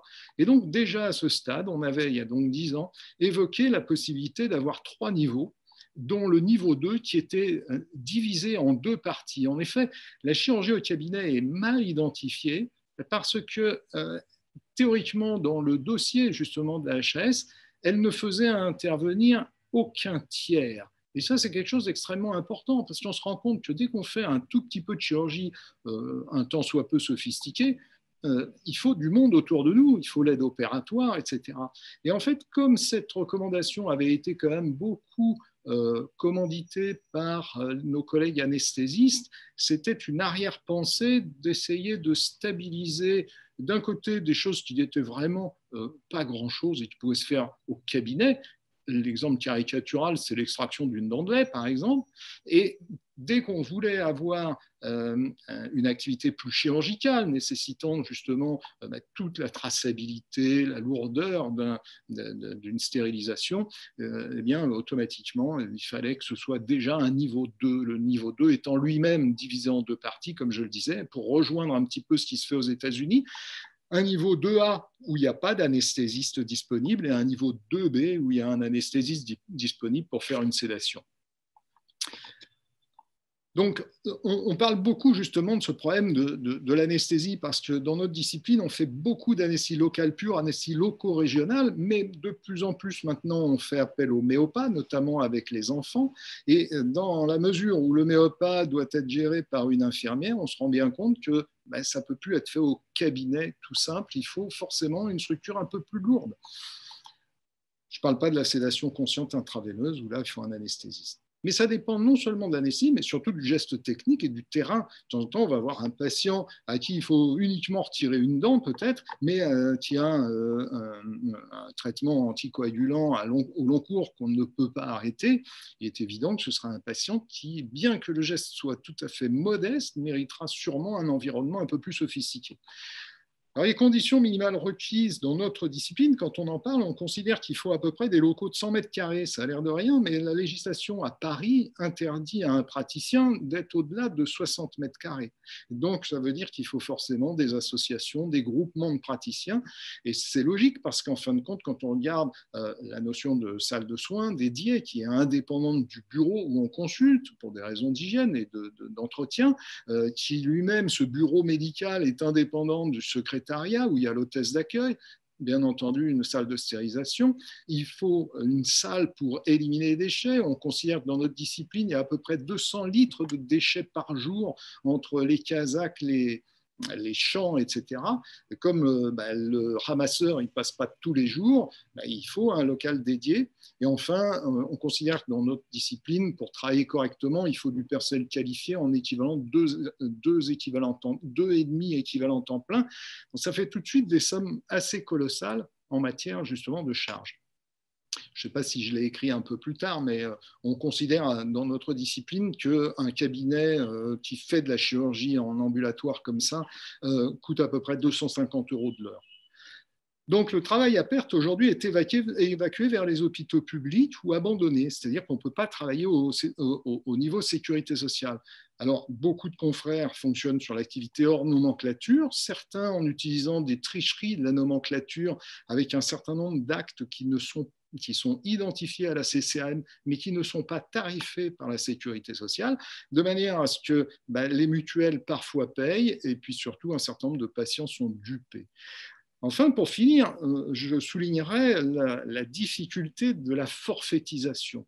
Euh, je suis très attaché au système euh, allemand et au système suisse où on a une comptabilité analytique réelle euh, des dépenses qui permet de séparer d'un côté des honoraires du praticien euh, correspondant à la juste valeur technique euh, du praticien, puis de l'autre côté le coût de la pratique qui est quand même quelque chose à part et qui doit être identifié. On va prendre un exemple, c'est la chirurgie des troisièmes molaires. Quand c'est fait sous anesthésie générale en ambulatoire, c'est le GHS, c'est un jour. Et euh, quand on fait ça en, cabinet sous anesthésie locale, on est à 334 euros. Donc on se rend bien compte que là, il y a déjà une différence. Mais quand on va le faire en deux fois euh, au cabinet, on est à 250 euros, ce qui fait qu'il y a un delta de rémunération de 84 euros en, uniquement pour le fait que ce soit fait en une fois. On se rend bien compte que là, même la sécurité sociale a du mal à identifier le coût de la pratique. Quand on prend une extraction d'une seule dent, on est à 34 euros, c'est-à-dire que c'est quasiment moins cher qu'une consultation. On se rend bien compte que euh, payer l'anesthésie locale et tout ça, c'est totalement impossible. Ce qui explique que beaucoup de confrères chirurgiens dentistes ne fassent plus cette activité-là pour la déléguer, soit à des structures qui peuvent bénéficier euh, ben, d'un tarif hors nomenclature, soit aux hôpitaux. Docteur Blanchard, il vous reste peu de temps pour le timing. Je termine. Hein. donc, euh, je reviens sur cette euh, comptabilité analytique. Et pour finir, je considère à titre personnel, mais pour en refléter euh, l'ensemble de notre discipline, que ce sera en définitive seul le chirurgien qui pourra décider qui est éligible ou pas à une chirurgie au cabinet ou en institution. je vous remercie. Merci beaucoup. docteur. C'était extrêmement intéressant, notamment les considérations financières. Désolé d'avoir euh, dû vous, vous ah rappeler le. Il faut que chacun respecte son timing. Pas de problème. Voilà, donc euh, nous avons maintenant euh, le plaisir d'écouter le docteur Max Rowe, qui est chef du service de chirurgie vasculaire et endovasculaire du groupe hospitalier Paris-Saint-Joseph, qui justement est en train de monter un centre euh, de chirurgie externe spécialisée dans le traitement euh, des euh, varices en particulier. On écoute. Merci. Bonjour, j'espère que vous voyez bien ma présentation. Oui, oui, très bien. merci tout d'abord pour l'invitation. Hein. donc, j'ai été rejoint par un de mes collègues, le professeur Yann Guéfic, qui travaille avec moi à l'hôpital Saint-Joseph et qui est un, des pionniers de, de, la prise en charge des patients en chirurgie vasculaire en ambulatoire en France. Euh, et donc, nous, nous allons euh, répondre aussi à la question que vous posiez sur l'office surgery en chirurgie vasculaire. Alors, clairement, de notre point de vue, ça n'est pas forcément une pratique euh, très adaptée à notre spécialité. Alors, évidemment, comme tout le monde et comme vous tous, nous avons une volonté de faire sortir au maximum un certain nombre d'actes chirurgicaux des blocs opératoires lourds et de les externaliser. Le problème, c'est que, comme toutes les spécialités chirurgicales, notre spécialité vers des techniques mini-invasives. Et ces techniques mini-invasives, c'est des techniques qui nécessitent quand même beaucoup de matériel. Ce sont des techniques principalement endovasculaires euh, et de navigation dans les vaisseaux qui nécessitent des rayons X, de l'injection de produits de contraste, donc clairement euh, impossible en office surgery. De plus, on a peu d'actes diagnostiques, comme vous en parliez tout à l'heure avec l'hystéroscopie. Donc, euh, tout ce pan diagnostique ne s'applique pas pour nous. En plus, comme vous le savez, euh, la, plupart des patients euh, atteints de pathologie vasculaire ont un terrain assez lourd. Et c'est pourquoi nous, nous sommes un petit peu plus orientés vers des modèles euh, alternatifs, qui sont des modèles développés aux USA et en Europe, qui sont des centres ambulatoires dédiés. Alors, on a pris le modèle américain, comme, comme vous pour l'Office Surgery. en 2008, aux États-Unis, il y a eu une modification de la tarification qui a poussé les chirurgiens eh bien, à se détacher un petit peu de l'hôpital et à aller développer des centres dédiés pour la prise en charge de leurs patients, des centres avec une prise en charge élective par pathologie. Et donc, dans le cadre de nos spécialités, comme vous le voyez là, 80% euh, des procédures artérielles périphériques sont endovasculaires et donc peuvent être faites euh, en dehors de l'hôpital, dans des centres dédiés et en ambulatoire. Donc, c'est pour ça que les Américains ont développé ce qu'on appelle des Office-Based Labs ou des Ambulatory Surgery Centers. Et il y en a aujourd'hui un peu plus de 750 aux États-Unis, avec un nombre qui croît d'année en année. Euh, et qui représente, je pense, le gros de l'activité en dehors de l'hôpital. Alors, la première chose qui a été étudiée, bien évidemment, c'est la rentabilité économique de ces, centres. Et vous le voyez, euh, très rapidement, on s'est rendu compte que ça permettait une réduction des dépenses de santé colossale par rapport à ce qui était fait à l'hôpital, de l'ordre de 60 à 75% euh, par rapport donc, à un hôpital standard. Alors, à quoi ressemble un Office Based Lab? Ben, C'est comme vous l'avez dit tout à l'heure, hein, c'est une espèce de maison médicale, c'est un conglomérat de, de cabinets médicaux. Euh, c'est un centre où les praticiens se regroupent.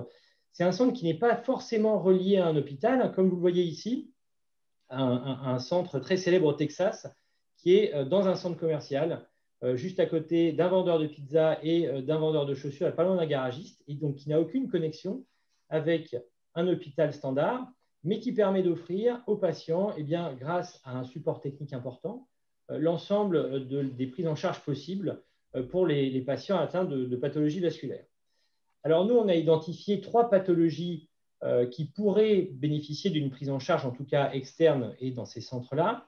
Bien évidemment, la pathologie veineuse pour laquelle nous développons actuellement, euh, et je tiens à remercier l'ARS, un centre, un vein center, un centre de prise en charge dédié des pathologies variqueuses indépendant de l'hôpital, les accès vasculaires pour hémodialyse et le modèle phare des États-Unis qui est l'artériopathie oblitérante des membres inférieurs.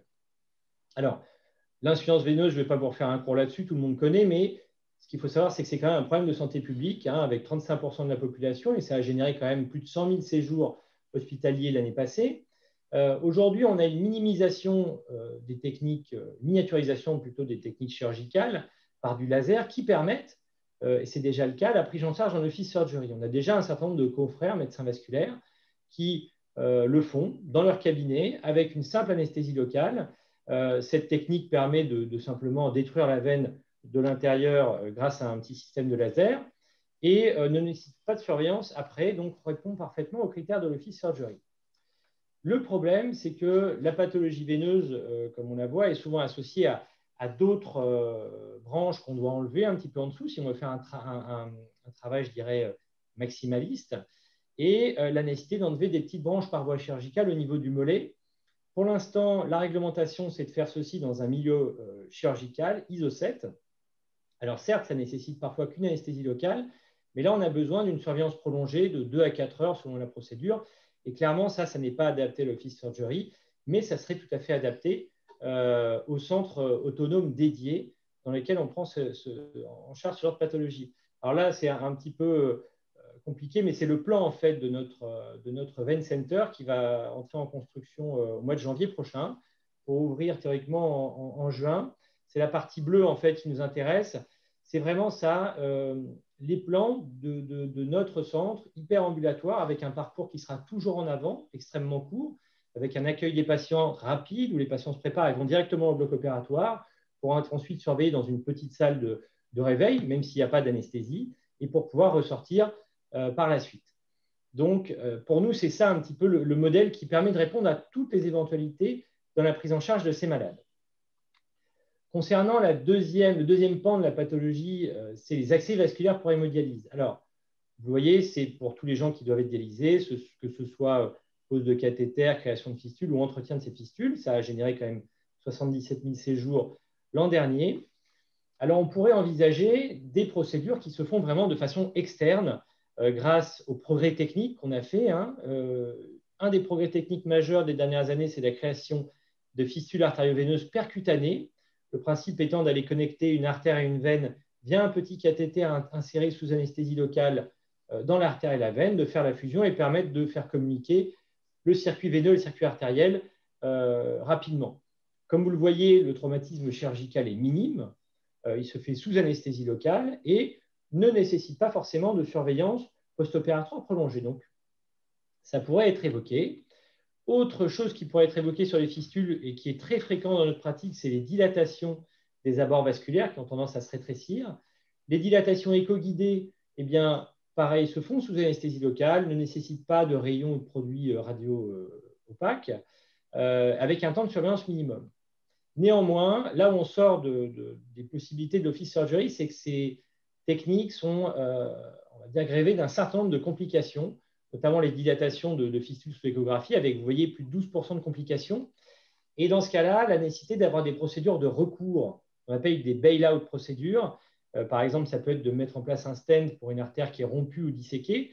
Et euh, clairement, euh, faire ça en office surgery me paraît non adapté, puisqu'on ne dispose pas forcément de tout le matériel nécessaire pour gérer ce genre de complications. Et par ailleurs, les patients qui viennent pour des accès vasculaires pour l'hémodialyse ont souvent des terrains médicaux assez lourds, ASA3, ASA4, une mobilité réduite. Et donc, euh, du fait du taux de complication qui est quand même assez important de ces procédures, euh, ça me paraît encore être quelque chose qui est, à mon avis, euh, favorable dans les Office Based Lab américains. Alors, le modèle qui vraiment, pour nous, est le, le plus représentatif et celui qui a été le plus étudié aux États-Unis, c'est celui de la prise en charge de l'artériopathie oblitérante des membres inférieurs, que vous connaissez tous. Hein. Euh, c'est aussi un énorme problème de santé publique, avec, vous le voyez, plus de 170 000 séjours euh, l'année passée. C'est autant que varices et, et, euh, insuffisance rénale confondues. Le principe que vous connaissez tous, c'est de mettre en place des stènes dans des artères qui sont occluses ou rétrécies. c'est des procédures qui avant se faisaient que au bloc opératoire, qui étaient assez lourdes. Et donc, nos amis américains eh bien, ont fait un petit retour d'expérience de trois ans de leur centre dédié que nous avons vu, là, qui était euh, au milieu de, zones commerciales, avec des chiffres qui sont quand même assez éloquents. Hein. sur les trois dernières années, donc 18 000 procédures. Alors 60% de patients étaient juste des claudicants, mais ça veut dire que quand même 40% d'entre eux eh bien, étaient des malades plus lourds avec des ischémies critiques, hein, soit des douleurs de décubitus, soit des, plaies. Et donc, vous voyez les résultats aujourd'hui qui sont vraiment excellents, c'est-à-dire un taux de transfert hospitalier et un taux de complications graves qui sont véritablement très faibles sur une série qui comporte quand même plus de 18 000 malades, et une mortalité à 30 jours de 0,03%. Tout ceci, à tout ceci, pardon, il faut rajouter le taux de satisfaction des patients qui a été étudié euh, dans leur prise en charge dans ces centres dédiés. Il est excessivement élevé, il est de plus de 98% et il est largement supérieur au taux de satisfaction apporté par des structures ambulatoires hospitalières. Donc, clairement, euh, pour nous, ce modèle-là, c'est véritablement le modèle qui correspond le mieux euh, à notre pratique qui est quand même assez importante en plus à Saint-Joseph en, artériopathie périphérique. Donc au final, quel modèle pour la chirurgie vasculaire?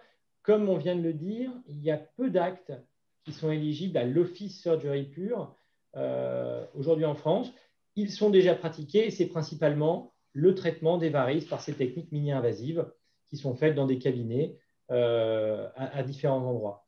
L'intérêt des centres autonomes dédiés, euh, comme nous venons de, développés ou que nous, sommes en train de développer pour l'instant pour la chirurgie veineuse, eh bien, ils sont assez multiples. Hein. Euh, on a quand même des circuits qui sont ultra courts. C'est-à-dire que l'objectif, c'est que le patient passe le moins de temps possible à, cet endroit. C'est des petits centres avec une démarche toujours en avant. Et le patient est, pris en charge par différentes personnes qui vont l'amener vers la salle opératoire, mais dans un délai assez rapide. Du coup, les pratiques sont fluides parce qu'on n'a pas le problème de l'accueil du patient par le chirurgien, c'est-à-dire que chacun a son rôle. Alors c'est sûr que ça nécessite plus de personnel, mais euh, chacun a un rôle bien défini. La concentration de tous les moyens sur un site nous paraît indispensable pour pouvoir prendre en charge le plus de malades. Pourquoi? Parce que, comme vous l'avez vu, on a des spécialités. On a une spécialité avec pas mal de complications. Et ces complications, si on veut pouvoir les traiter et ne pas transférer les patients à l'hôpital comme nos amis américains, il nous faut du matériel, ce qui prend de la place euh, et ce qui nécessite euh, des ressources, notamment euh, radiologiques. Ça nous permet de prendre en charge plus de patients, hein, puisqu'il y a un support anesthésique dans ces centres-là. La rentabilité financière, je vous en ai parlé au début, elle est, elle éprouvée, hein, on l'a vu, 75% de réduction de dépenses par rapport à, une structure ambulatoire hospitalière, ce qui est colossal. Ça nous permet toujours de répondre à notre volonté et nos missions de, de formation, de recherche. Et surtout, ça répond à, ce critère indispensable qu'a mis en avant la chaise dans son rapport de 2013, c'est l'indépendance des flux. Euh, et il le disait très bien, la productivité la qualité de l'organisation ambulatoire est directement liée au degré d'indépendance des flux. Et ça, pour nous, ça nous paraît indispensable parce que le but de ces centres, c'est de prendre en charge un type de pathologie ou une partie de, la spécialité, comme d'un côté les veines, on espère un autre sur les artères. Et de ce fait, eh bien, les flux ne sont pas perturbés par euh, des urgences, puisqu'on ne fait pas l'urgence euh, a priori dans ces centres-là, euh, par le flux d'une autre, autre spécialité qui viendrait perturber en descendant un patient en brancard, etc., comme tout ce qu'on voit à l'hôpital en fait. et donc l'indépendance des flux. vous êtes à un peu plus de 12 minutes. Oui, pardon. C'était ma dernière diapo. L'indépendance des flux, pour nous, est un, garant du succès de, cette pratique en, en, Office Base Lab, comme le disent nos amis américains remercie. Merci beaucoup pour cette très belle présentation parce qu'on peut noter que la chirurgie la plus risquée globalement s'engage plus dans ce type de pratique euh, avec des modèles euh, particuliers, notamment les Office Base Lab euh, qui s'éloignent de l'Office Surgery, mais qui sont des modèles aussi de prise en charge des patients qui sont différents, mais qui sont aussi des parcours de soins alternatifs à l'ambulatoire et aux structures privées ou publiques. Nous, allons, euh, nous avons 10 minutes de retard, ça tombe très bien, puisque malheureusement, on n'aura pas de participants de l'ACTAM et de la DGOS, a priori. Et on va avoir le plaisir d'avoir maintenant la représentante des usagers, Madame Olivet, qui va nous donner son avis. C'est probablement l'avis le plus important de, tout le, de tous les panélistes qui nous intéresse le plus. Bon, je voudrais vous dire à tous combien euh, j'ai été passionnée par vos interventions euh, extraordinaires. Vous m'avez fait découvrir quand même un monde qui, est la diversité des, des, chirurgiens, la surspécialisation de certains d'entre vous. C'est extrêmement impressionnant et j'ai été euh, vraiment émerveillée, un, par votre capacité à à transmettre euh, en 10 minutes. Hein. un maximum de données intéressantes et éclairantes. Je vais essayer de vous emmener avec moi dans mon petit monde des usagers, ce qui est bien évidemment très loin, mais j'ai peut-être deux, trois petites choses à vous dire quand même. Alors, on va aller dans le fichier. Voilà. Est-ce que. Ah ben, j'ai oublié de cliquer sur partager. Ah, ah, ah. Attendez voir. Annie, vous pouvez le. Non, non, non, c'est tout bêtement que j'ai oublié de cliquer sur partager, ce qui était tout à Madame fait. est une professionnelle. Écran partagé. Voilà, c'était pour partager et j'ai trouvé et voilà. Est-ce que ça marche? Oui, c'est bon. Il faut juste que j'aille mettre à partir du début et ça doit être bon. Voilà, on est bien? C'est parfait. On est bien. Voilà, donc euh, le représentant des usagers que je suis va essayer de répondre à la question qui est le titre de, de ce webinaire et moi j'y ai juste ajouté oui mais. Voilà, simplement pour vous éclairer sur ce qui m'attire le plus en termes de il faut réfléchir. Voilà. Euh, la diversité des usagers potentiellement concernés, qui répond à la diversité extraordinaire d'ailleurs de la diversité de spécialités à que bien évidemment les patients et les usagers sont très variés, qu'ils n'ont pas toujours des copathologies connues. Je m'explique. Vous connaissez la pauvreté du développement du dossier médical partagé. Vous connaissez la pauvreté de l'interopérabilité de nos systèmes d'information et qu'un patient, ça n'est pas toujours pris en charge par un seul hôpital, qu'il a plusieurs spécialistes qui s'occupent de lui, qu'il a éventuellement plusieurs hôpitaux même, et qu'il ne vous dit pas obligatoirement tout, non pas parce que euh, il veut vous cacher quelque chose, tout simplement parce qu'il ne sait pas qu'il doit vous transmettre absolument un certain nombre d'informations que vous n'avez peut-être pas obligatoirement dans son dossier patient. Il ne mesure pas l'importance de vous donner toutes les données auxquelles vous, avez vous devez avoir accès pour bien comprendre. Je voudrais vous rappeler aussi euh, les traces très fortes qui sont actuellement dans la perte de confiance en l'hôpital, euh, liées à toutes les informations sur la, crise de la COVID-19. Ces traces de perte de confiance euh, en l'hôpital peuvent rester longtemps, je ne suis pas capable de prédire l'avenir, mais ça peut influencer leur choix de ne pas aller à l'hôpital. Ce qui ne sera pas obligatoirement un choix éclairé, mais qui sera un choix parce qu'il a peur de l'hôpital. Je peux aussi tout autant vous dire que euh, son choix va être aussi fonction de la confiance qu'il a en la médecine de ville, ce que va lui dire en particulier son médecin traitant, euh, qui va, voilà, d'où l'importance pour vous, spécialistes, d'avoir un lien avec le médecin traitant. Ça a été évoqué dans une des présentations, je passe sous silence les déserts médicaux et le nombre de patients qui n'ont pas de médecin traitant. Euh, je, voudrais vous dire qu'il y a un autre euh, caractère privé qui peut beaucoup influencer euh, leur regard, c'est la nécessité de reprendre plus ou moins très vite leur activité professionnelle.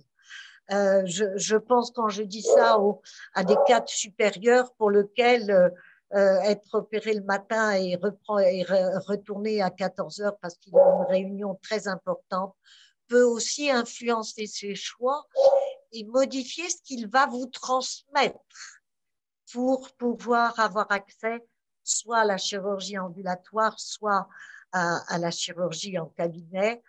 Euh, son désir de reprendre une activité va pouvoir l'influencer gravement. Je voudrais aussi vous dire euh, que vous ne connaissez pas leur logement.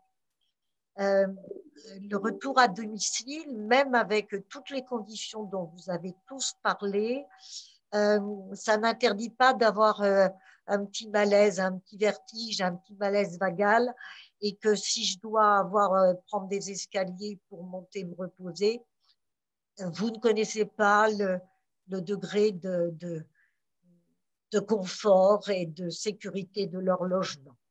Et puis surtout, mais vous en avez tous parlé, mais j'insiste tout particulièrement parce que c'est aussi le cas dans la chirurgie ambulatoire, c'est les moyens concrets, clairs et efficaces d'accéder à des réponses réactives en cas de problème dans les heures et la nuit qui suivent. Le nombre de personnes qui ont eu une chirurgie ambulatoire euh, euh, qui se relèvent la nuit pour faire un petit pipi, qui se fracasse le menton sur le coin du lavabo, c'est quand même un problème auquel il faut penser. Et il leur faut des moyens efficaces et concrets et simples d'accéder à des ressources d'aide. Voilà, donc ça, c'est plutôt les signaux d'alerte auxquels je voulais vous donner accès. Je voulais vous dire qu'en fonction de critères psychologiques, euh, et non pas de critères médicaux, euh, il y en a certains qui vont adhérer directement à votre proposition sans se poser de questions. C'est ce que j'appellerais la foi du charbonnier. J'ai confiance, je pose pas de questions, je comprends rien à ce qu'il m'a expliqué, mais je lui dis oui quand même. Il y en a d'autres qui refuseront très clairement parce qu'ils auront des craintes, des angoisses. Euh, et si ça se passe mal, c'est la grande question des patients. Donc certains refuseront clairement. D'autres, ils vont accepter, mais avec inquiétude, parce que ça les arrange. J'évoquais ce, besoin de retourner euh, rapidement travailler, donc ça les arrange. D'autres, ils vont adhérer avec sérénité parce qu'ils ont confiance en vous. Des tas de critères subjectifs vont intervenir. Euh, j'ai entendu l'un d'entre vous euh, citer quelque chose qui est très frappant chez beaucoup de patients. On ne met pas tout nu. Je ne suis pas en train de claquer des dents de froid sur mon brancard dans un couloir pour aller en salle d'opération. Ce sont pour des gens qui l'ont déjà vécu des traumatismes très marquants pour certains. Donc, euh, des, des offres pour répondre à leurs souhaits et à leurs espérances. Euh, c'est à vous et à vous seul, et à vous seul, de définir clairement en toute déontologie avec vos compétences pourquoi vous faites cette offre à certains patients et pourquoi vous ne le faites pas à d'autres. Et ça relève de votre responsabilité professionnelle et éthique. Et puis, il y a vraiment un enjeu éthique préalable, préalable, qui est de définir clairement, chacun d'entre vous, comment vous informez vos patients, comment, avec quels mots, avec quels documents, avec quelles explications claires, loyales et compréhensibles vous recherchez leur accord éclairé pour leur permettre de choisir en connaissance de cause. Merci.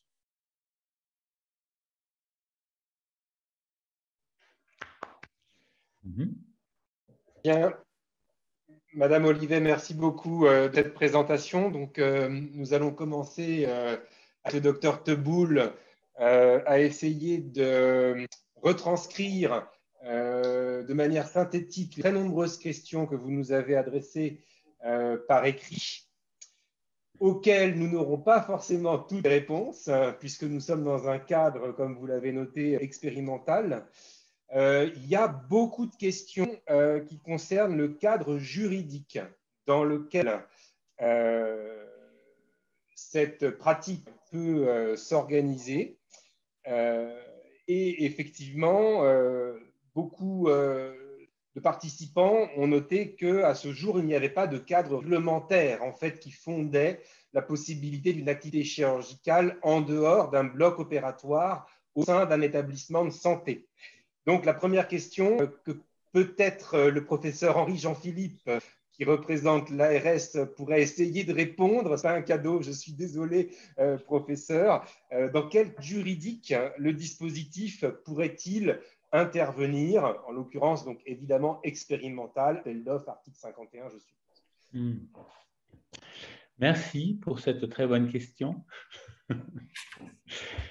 Alors, en fait, euh, c'est vrai, tout le, euh, tout le problème consiste à déterminer ce qui est un acte chirurgical.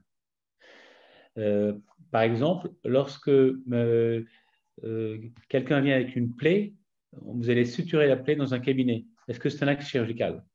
Lorsque une patiente ou un patient va chez un dermatologue et va lui retirer une tumeur qui peut être un cancer, un vasocellulaire, elle le fait en cabinet. Est-ce que c'est un acte chirurgical? Parce que ça, c'est autorisé. Est-ce que le fait de mettre d'enlever une dent et mettre un implant euh, dans un os, euh, euh, dans un cabinet dentaire, est un acte chirurgical? Si ce sont des actes chirurgicaux, il faut tous les faire au bloc opératoire. On est d'accord. donc toute la question est là. C'est est-ce qu'on détermine les actes dont on a parlé comme des actes chirurgicaux? Et et là, ça va être un pouvoir, ça va être une mission d'explication de notre part euh, pour, euh, au niveau des institutions pour dire que ça fait partie des actes chirurgicaux comme les dermatologues, comme le font les dermatologues, comme le font les, les dentistes. Et ces actes qui sont des actes simples, eh bien, il faut des conditions chirurgicales, mais adaptées à nos pratiques. Donc, c'est un, si vous voulez, c'est un, euh, finalement de la pédagogie qu'on va être contraint de faire, oui, qu'on va être contraint de faire pour que ça soit bien euh, intégré euh, dans, euh, finalement dans, les textes. Et après, je pense que ce sera à nous, parce que c'est pas parce que c'est une chirurgie en cabinet qu'il ne faut pas considérer que c'est un acte chirurgical. Et tout, tout, le monde ici, dans vos exposés, est vraiment très brillant et très précis. Et ce n'est pas un acte banal que vous avez prescrit, ce n'est pas des conditions banales. À chaque fois, c'est des conditions d'hygiène et d'équipement qui étaient performants. Donc je pense que euh, ça, il faudra qu'on les décrive en disant, voilà, pour tel type de chirurgie, discipline par discipline, voilà les conditions qui nous semblent nécessaires. Ça, c'est le premier point. Et comme c'est une nouvelle pratique, je pense qu'on sera contraint, et c'est plutôt bien en médecine en général, qui est une évaluation comme le fonctionnement d'un bloc opératoire en disant, voilà, eh bien, nous en ophtalmo, vous, euh, moi en gynécologie, eh bien, les résections, les conisations que je pratique en consultation, Aujourd'hui, je n'ai pas d'évaluation sur euh, euh, le degré sceptique, les complications hémorragiques, ainsi de suite. Eh bien, qu'on est un peu dans ces nouveaux centres de chirurgie externe, qu'on ait systématiquement une évaluation. Alors, je n'ai pas du tout répondu à, la question est-ce que c'est, euh, y a des critères juridiques? Aujourd'hui, il n'y a, a pas d'éléments juridiques qui disent c'est interdit. Mais à nous de déterminer des conditions pour que ça soit autorisé correctement comme des bons médecins, comme des bons chirurgiens. Voilà. Et quand, j'ai interrogé encore euh, récemment les autorités, eux, leur question est une question en fait euh, avec une dimension, euh, je dirais, dans la mesure où c'est mm, hors du cadre habituel, c'est peut-être le faire entrer dans un cadre dérogatoire, peut-être, si on n'arrive pas à les convaincre que ce sont des actes chirurgicaux, mais il y a beaucoup d'actes chirurgicaux qui sont pratiqués euh, en dehors des blocs. Mais si on n'arrive pas à les convaincre, il faudra que ce soit dans le cadre de l'article 51 qui permet de pratiquer des actes médicaux ou chirurgicaux euh, hors dérogatoire, c'est-à-dire hors du contexte habituel, et euh, bah, qu'on fasse une, analyse, une, évaluation au bout de quelques temps pour dire bah, voilà, ça fonctionne très bien et ça, ça, participera à la pratique chirurgicale. C'était un peu long, je suis désolé. C'est peut-être pas si clair que ça ma réponse, mais voilà, euh, je veux dire qu'il y a deux parties. Soit j'arrive grâce à vous, et je pense qu'ils étaient là à vous écouter, euh, nos autorités, et je pense que je suis même certain que vous les avez convaincus que vous êtes des gens sérieux et qui voulaient faire de la bonne pratique chirurgicale, que vous avez convaincus. Et mon rôle, ça va être de les convaincre encore pour dire voilà, ça doit faire partie des modalités d'exercice de la chirurgie. Alors, une question aussi qui revient assez souvent là dans le pendant les différents topos qu'on a eus, c'est, euh, et ça c'est des, questions de chirurgien bien évidemment, pourquoi faire de l'office surgery et transformer euh, finalement la chirurgie en cabinet en mini-bloc opératoire avec un niveau ISO 7 un encadrement comme si on transférait un bloc opératoire, euh, contrairement à un cabinet dentaire où il y a de l'implantologie, où il y a, on ne demande pas 10 7 un encadrement opératoire ou d'asepsie. Alors cette question, je pense que c'est difficile d'y répondre et je crois que c'est propre à chaque spécialité.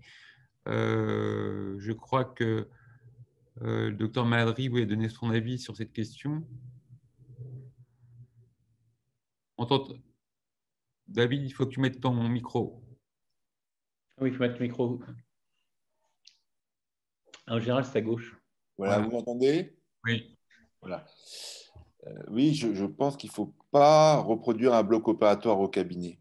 Euh, de ma formation, j'ai côtoyé et je côtoie encore les orthopédistes peut-être un peu trop pointilleux sur la sepsie, sans forcément des résultats extraordinaires de ce point de vue-là. Il faut quand même le reconnaître.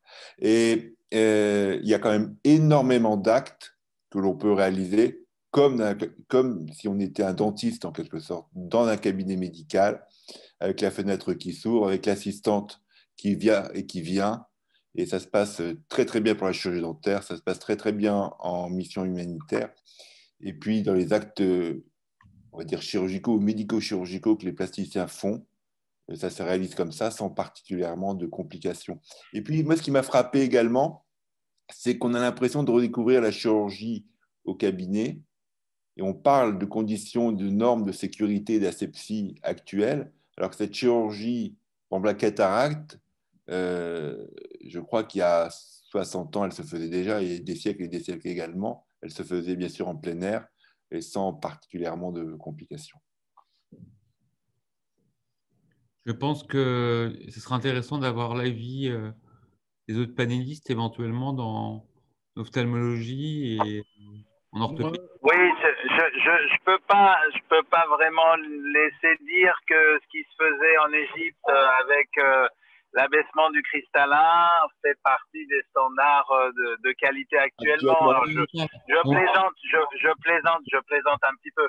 Mais euh, il faut pas oublier que la cataracte aujourd'hui, c'est une chirurgie fonctionnelle extrêmement exigeante et le patient doit quasiment revoir dès le lendemain sans problème. Donc, euh, on ne peut pas banaliser euh, des actes, même quand ils sont euh, pratiqués de façon très, très courante et fréquente, et perdre cette exigence des patients de vue. je pense que c'est très important. La vraie question, en fait, je crois, c'est pour. Enfin, je pense qu'il faudrait peut-être tourner la question différemment, parce que c'est pour dire que même un acte chirurgical minime est un acte sérieux.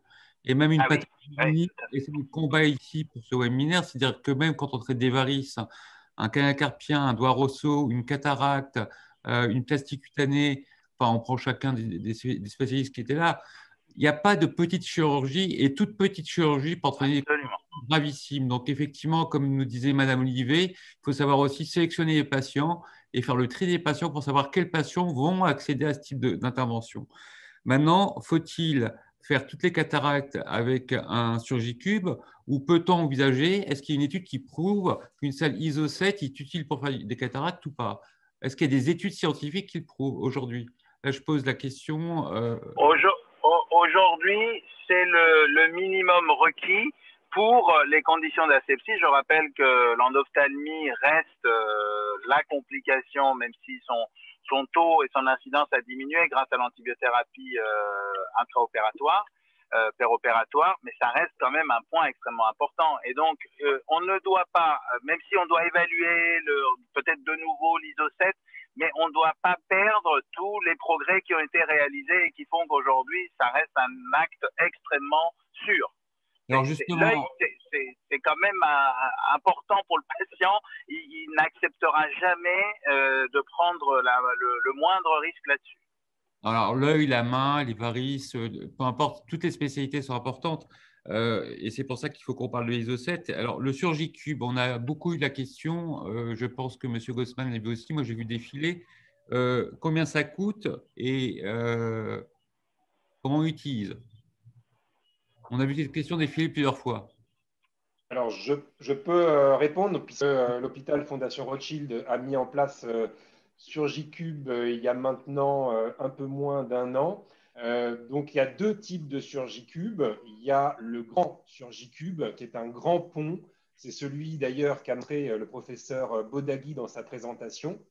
Euh, qui coûte euh, entre environ 60 000 euros. Je n'ai pas le prix euh, en tête exactement, mais c'est de cet ordre de grandeur-là.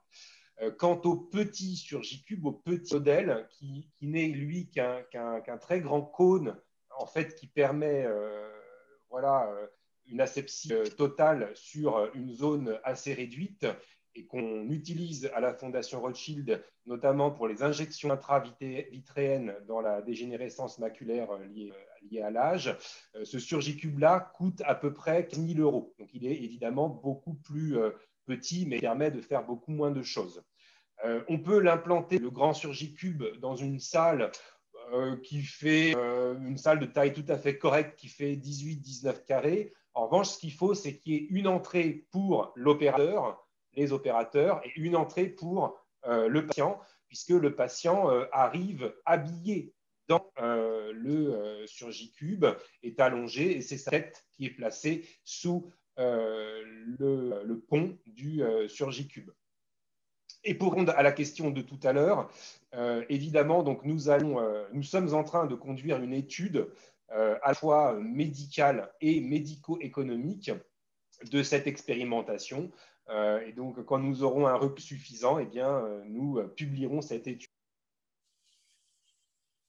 Alors, il y a une autre question qui est importante, hein, puisque qui est revenue assez souvent aussi dans les questions, c'est, si je me permets de, vous les relayer, c'est le consentement. Parce que euh, le docteur Villefranc, à juste titre, hein, euh, nous a parlé de, on peut faire dans le même temps l'échographie, le geste, la cognisation, etc.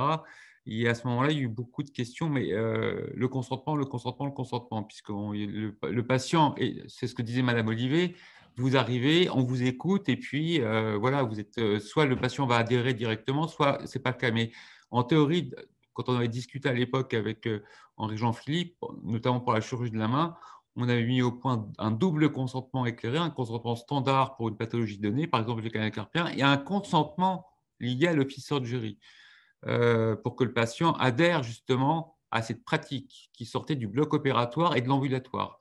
Et pour répondre à Madame Olivier, quand vous dites euh, ils peuvent rentrer à la maison, tomber, mais en ambulatoire, c'est la même chose. Quand ils rentrent à la maison, c'est le jour même. Et, donc, les vous avez votre micro est coupé, Madame Olivier. Euh, remettez-le, on aura le plaisir de vous entendre.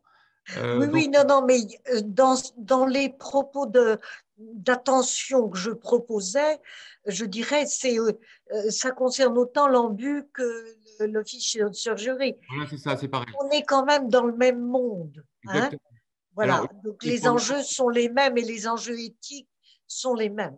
Donc pour le consentement, euh, je pense qu'il ne faut pas qu'il y ait de que les, gens les mal interprétant. En tous les cas, quand nos collègues gynécologues parlent des conisations, enfin là, je, vais vous laisser répondre.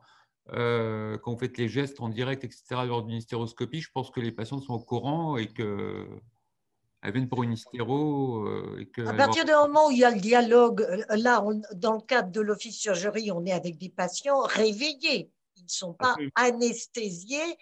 Euh, c'est la jeune femme présentée dans le film du professeur Philippe. C'est, elle a même dit c'est très agréable parce qu'on peut parler avec son chirurgien. Donc, en fonction de ce que le chirurgien trouve ou souhaite faire parce que c'est l'opportunité de le faire, c'est très facile dans un dialogue de dire, voilà, je vous propose que nous fassions tout de suite telle chose, ce qui évitera de, bah, comme c'était montré dans le diaporama, euh, trois visites euh, à l'hôpital, une avec l'anesthésiste, une avec le chirurgien, une pour l'examen et une, une quatrième pour, euh, pour opérer. Donc le dialogue éveillé permet de respecter le droit du malade d'être informé et de pouvoir redonner un consentement. Mais là, en l'occurrence, votre deuxième consentement me paraît une bonne idée. Oui, alors euh, moi je vais intervenir, puisqu'on parlait de, l'intégrer. Alors c'est vrai qu'on n'a pas la notion de délai, euh, mais comme disait Madame Olivier, on reste quand même dans, un dialogue avec la patiente qui, euh, qui fait que c'est une patiente éveillée et à qui on va dire ben, on fait le diagnostic, si vous voulez, on peut le faire dans le même temps. Alors après, oui, je suis d'accord qu'il n'y a pas cette histoire de délai dans la prise en charge de, réflexion, mais il y a, l'explication avant le geste quand même des avantages, inconvénients de l'acte. On est sur des actes qui sont quand même à chaque fois peu morbides. Pas, euh, on n'a pas de, complications opératoires majeures à, redouter des, actes qu'on fait, qu'on fait sous anesthésie locale, essentiellement. Après, en effet, on peut tout, on peut tout discuter. Euh, on a vraiment l'impression quand même d'apporter un plus à la patiente. Alors, est-ce que sur le, sur le fonctionnement, il faut se donner un, délai en disant vous revenez dans 24-48 heures. Tout est possible, tout est, on peut tout discuter. Après, c'est, je dirais, le, dialogue singulier. Je pense qu'après, on est tous des médecins et on s'adapte tous à chaque patient en lui donnant un traitement qui soit nécessaire et suffisant et en utilisant les moyens dont on a besoin. Euh, je pense que l'office surgery, ça répond aussi à cette question, c'est-à-dire utiliser des moyens qui soient proportionnels à la pathologie qu'on veut traiter. C'est-à-dire que vous n'avez pas besoin, en effet, pour traiter quelque chose qui est facile à traiter avec peu de matériel, dans un environnement qui n'est pas trop compliqué, d'une salle, euh, salle, de bloc opératoire où vous avez des moyens importants. Je crois que c'est vraiment dans la gradation des moyens dans la pathologie que vous voulez soigner. C'est vraiment aussi, je dirais, notre fond de commerce, et pas notre philosophie, c'est adaptons-nous à ce qu'on veut traiter et aux patients qu'on traite.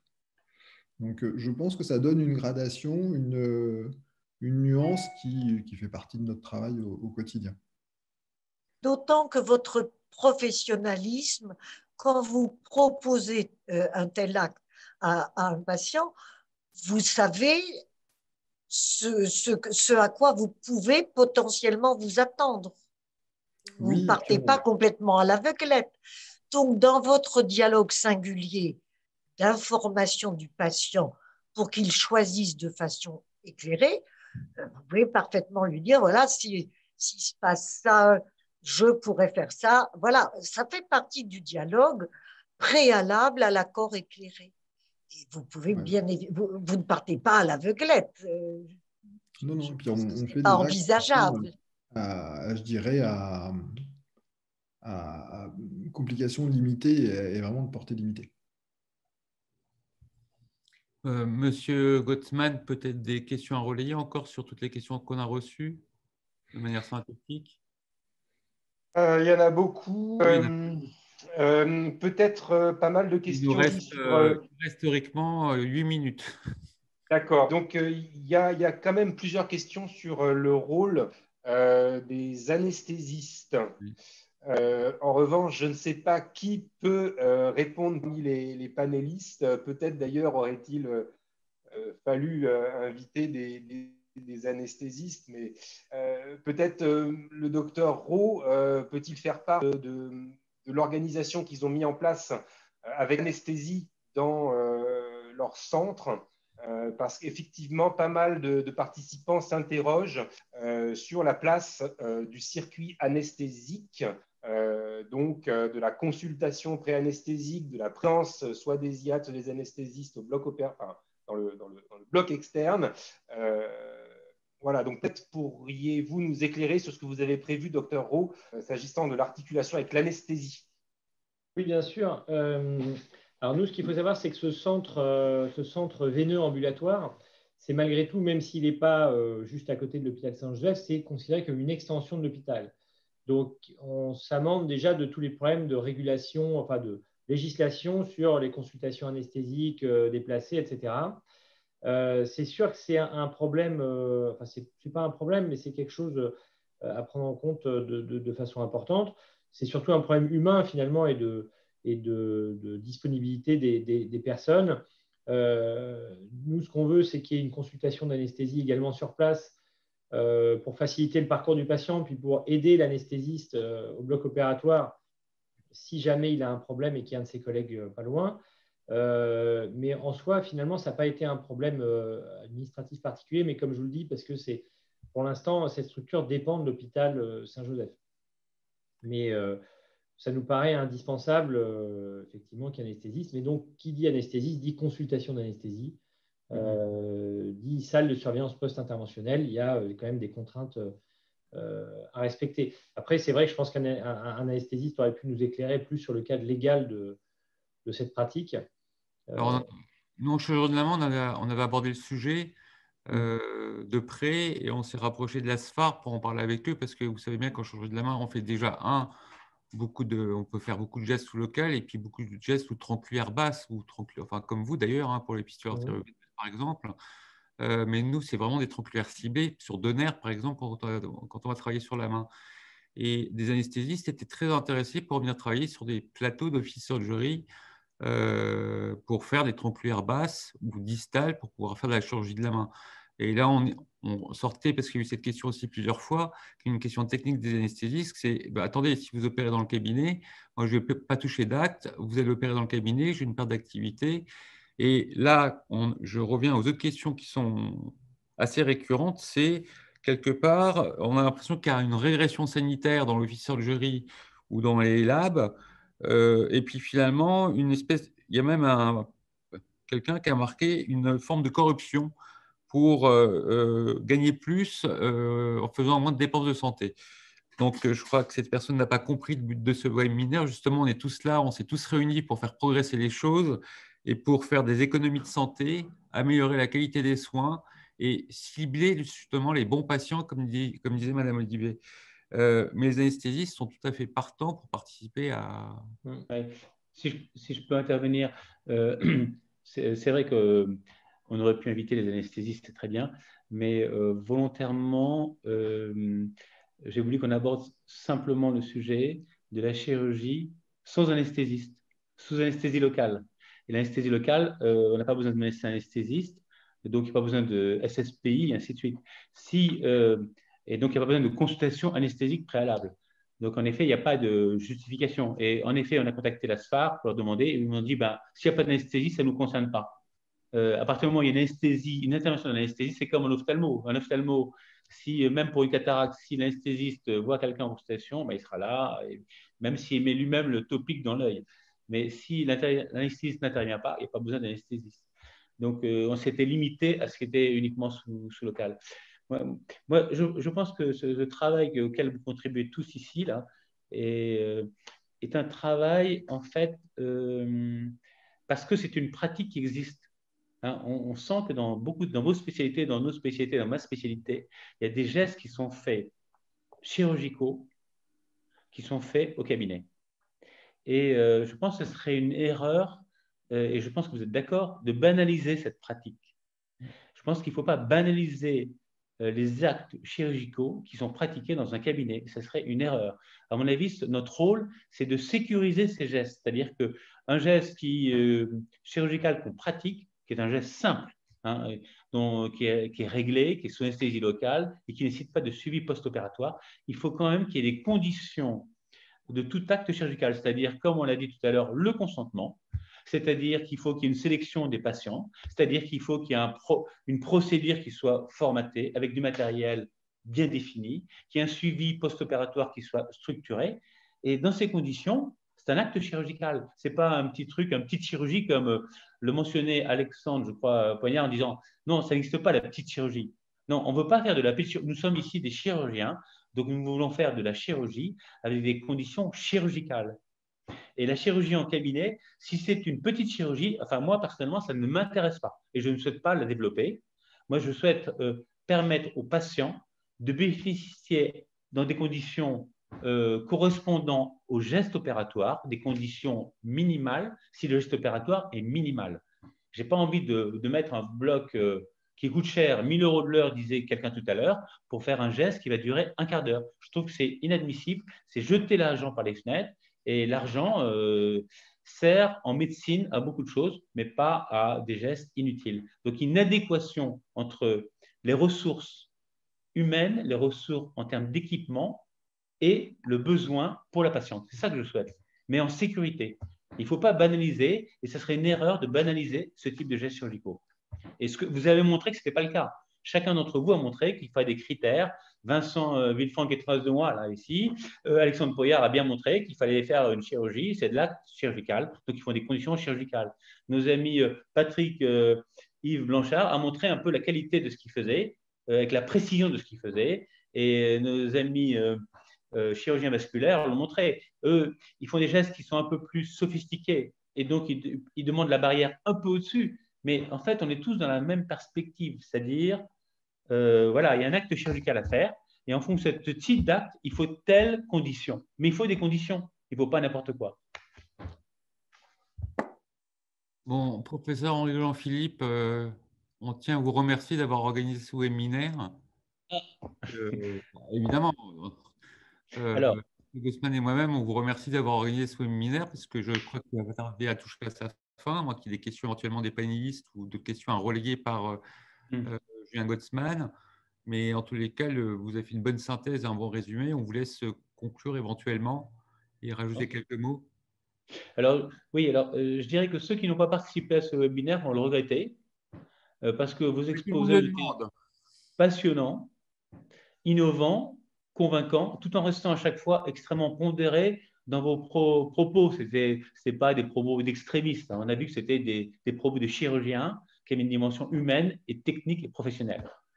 Et je pense que c'est uniquement comme cela que nous allons pouvoir progresser, avancer, et tous à des niveaux différents de finalement de, euh, perception de ce qu'est la place de l'office surgery aujourd'hui dans vos disciplines. Et c'est lié aux disciplines. Hein. Je n'ai pas montré des chiffres, mais en effet, suivant les disciplines, il y aura 5% de, surgery, il y en a d'autres où il y en aura 60%. Mais je pense que grâce à votre, vos exposés, nous allons progresser. Euh, j'espère de mon côté, de ma petite mission à l'ARS, essayer d'être le plus convaincant possible. Et euh, malheureusement, je pense que je vais me retourner vers vous régulièrement pour euh, qu'on avance, parce que là, vous m'avez vraiment convaincu que j'ai les arguments pour avancer. Donc, merci beaucoup à vous tous et évidemment à Madame Olivet, qui était là avec nous une fois encore. C'est moi qui vous remercie. C'était passionnant, vraiment. Exactement. À très bientôt. Et bien sûr, il y a un replay de ce, webinaire euh, avec les diapositives qui ont été mises à, qui seront mises à disposition par l'ensemble des intervenants. Et euh, normalement, ça sera en ligne dans euh, quelques jours. Je rajouterai qu'avant ce webinaire, on a fait passer un questionnaire qui correspondait aux questions que se posent les uns l'autre sur l'Office Surgery. Les questions, on n'a pas eu le temps de les aborder. Les réponses, on n'a pas eu le temps de les aborder. Il sera également en ligne et vous pourrez en disposer vous-même, évidemment. Merci beaucoup et à très bientôt.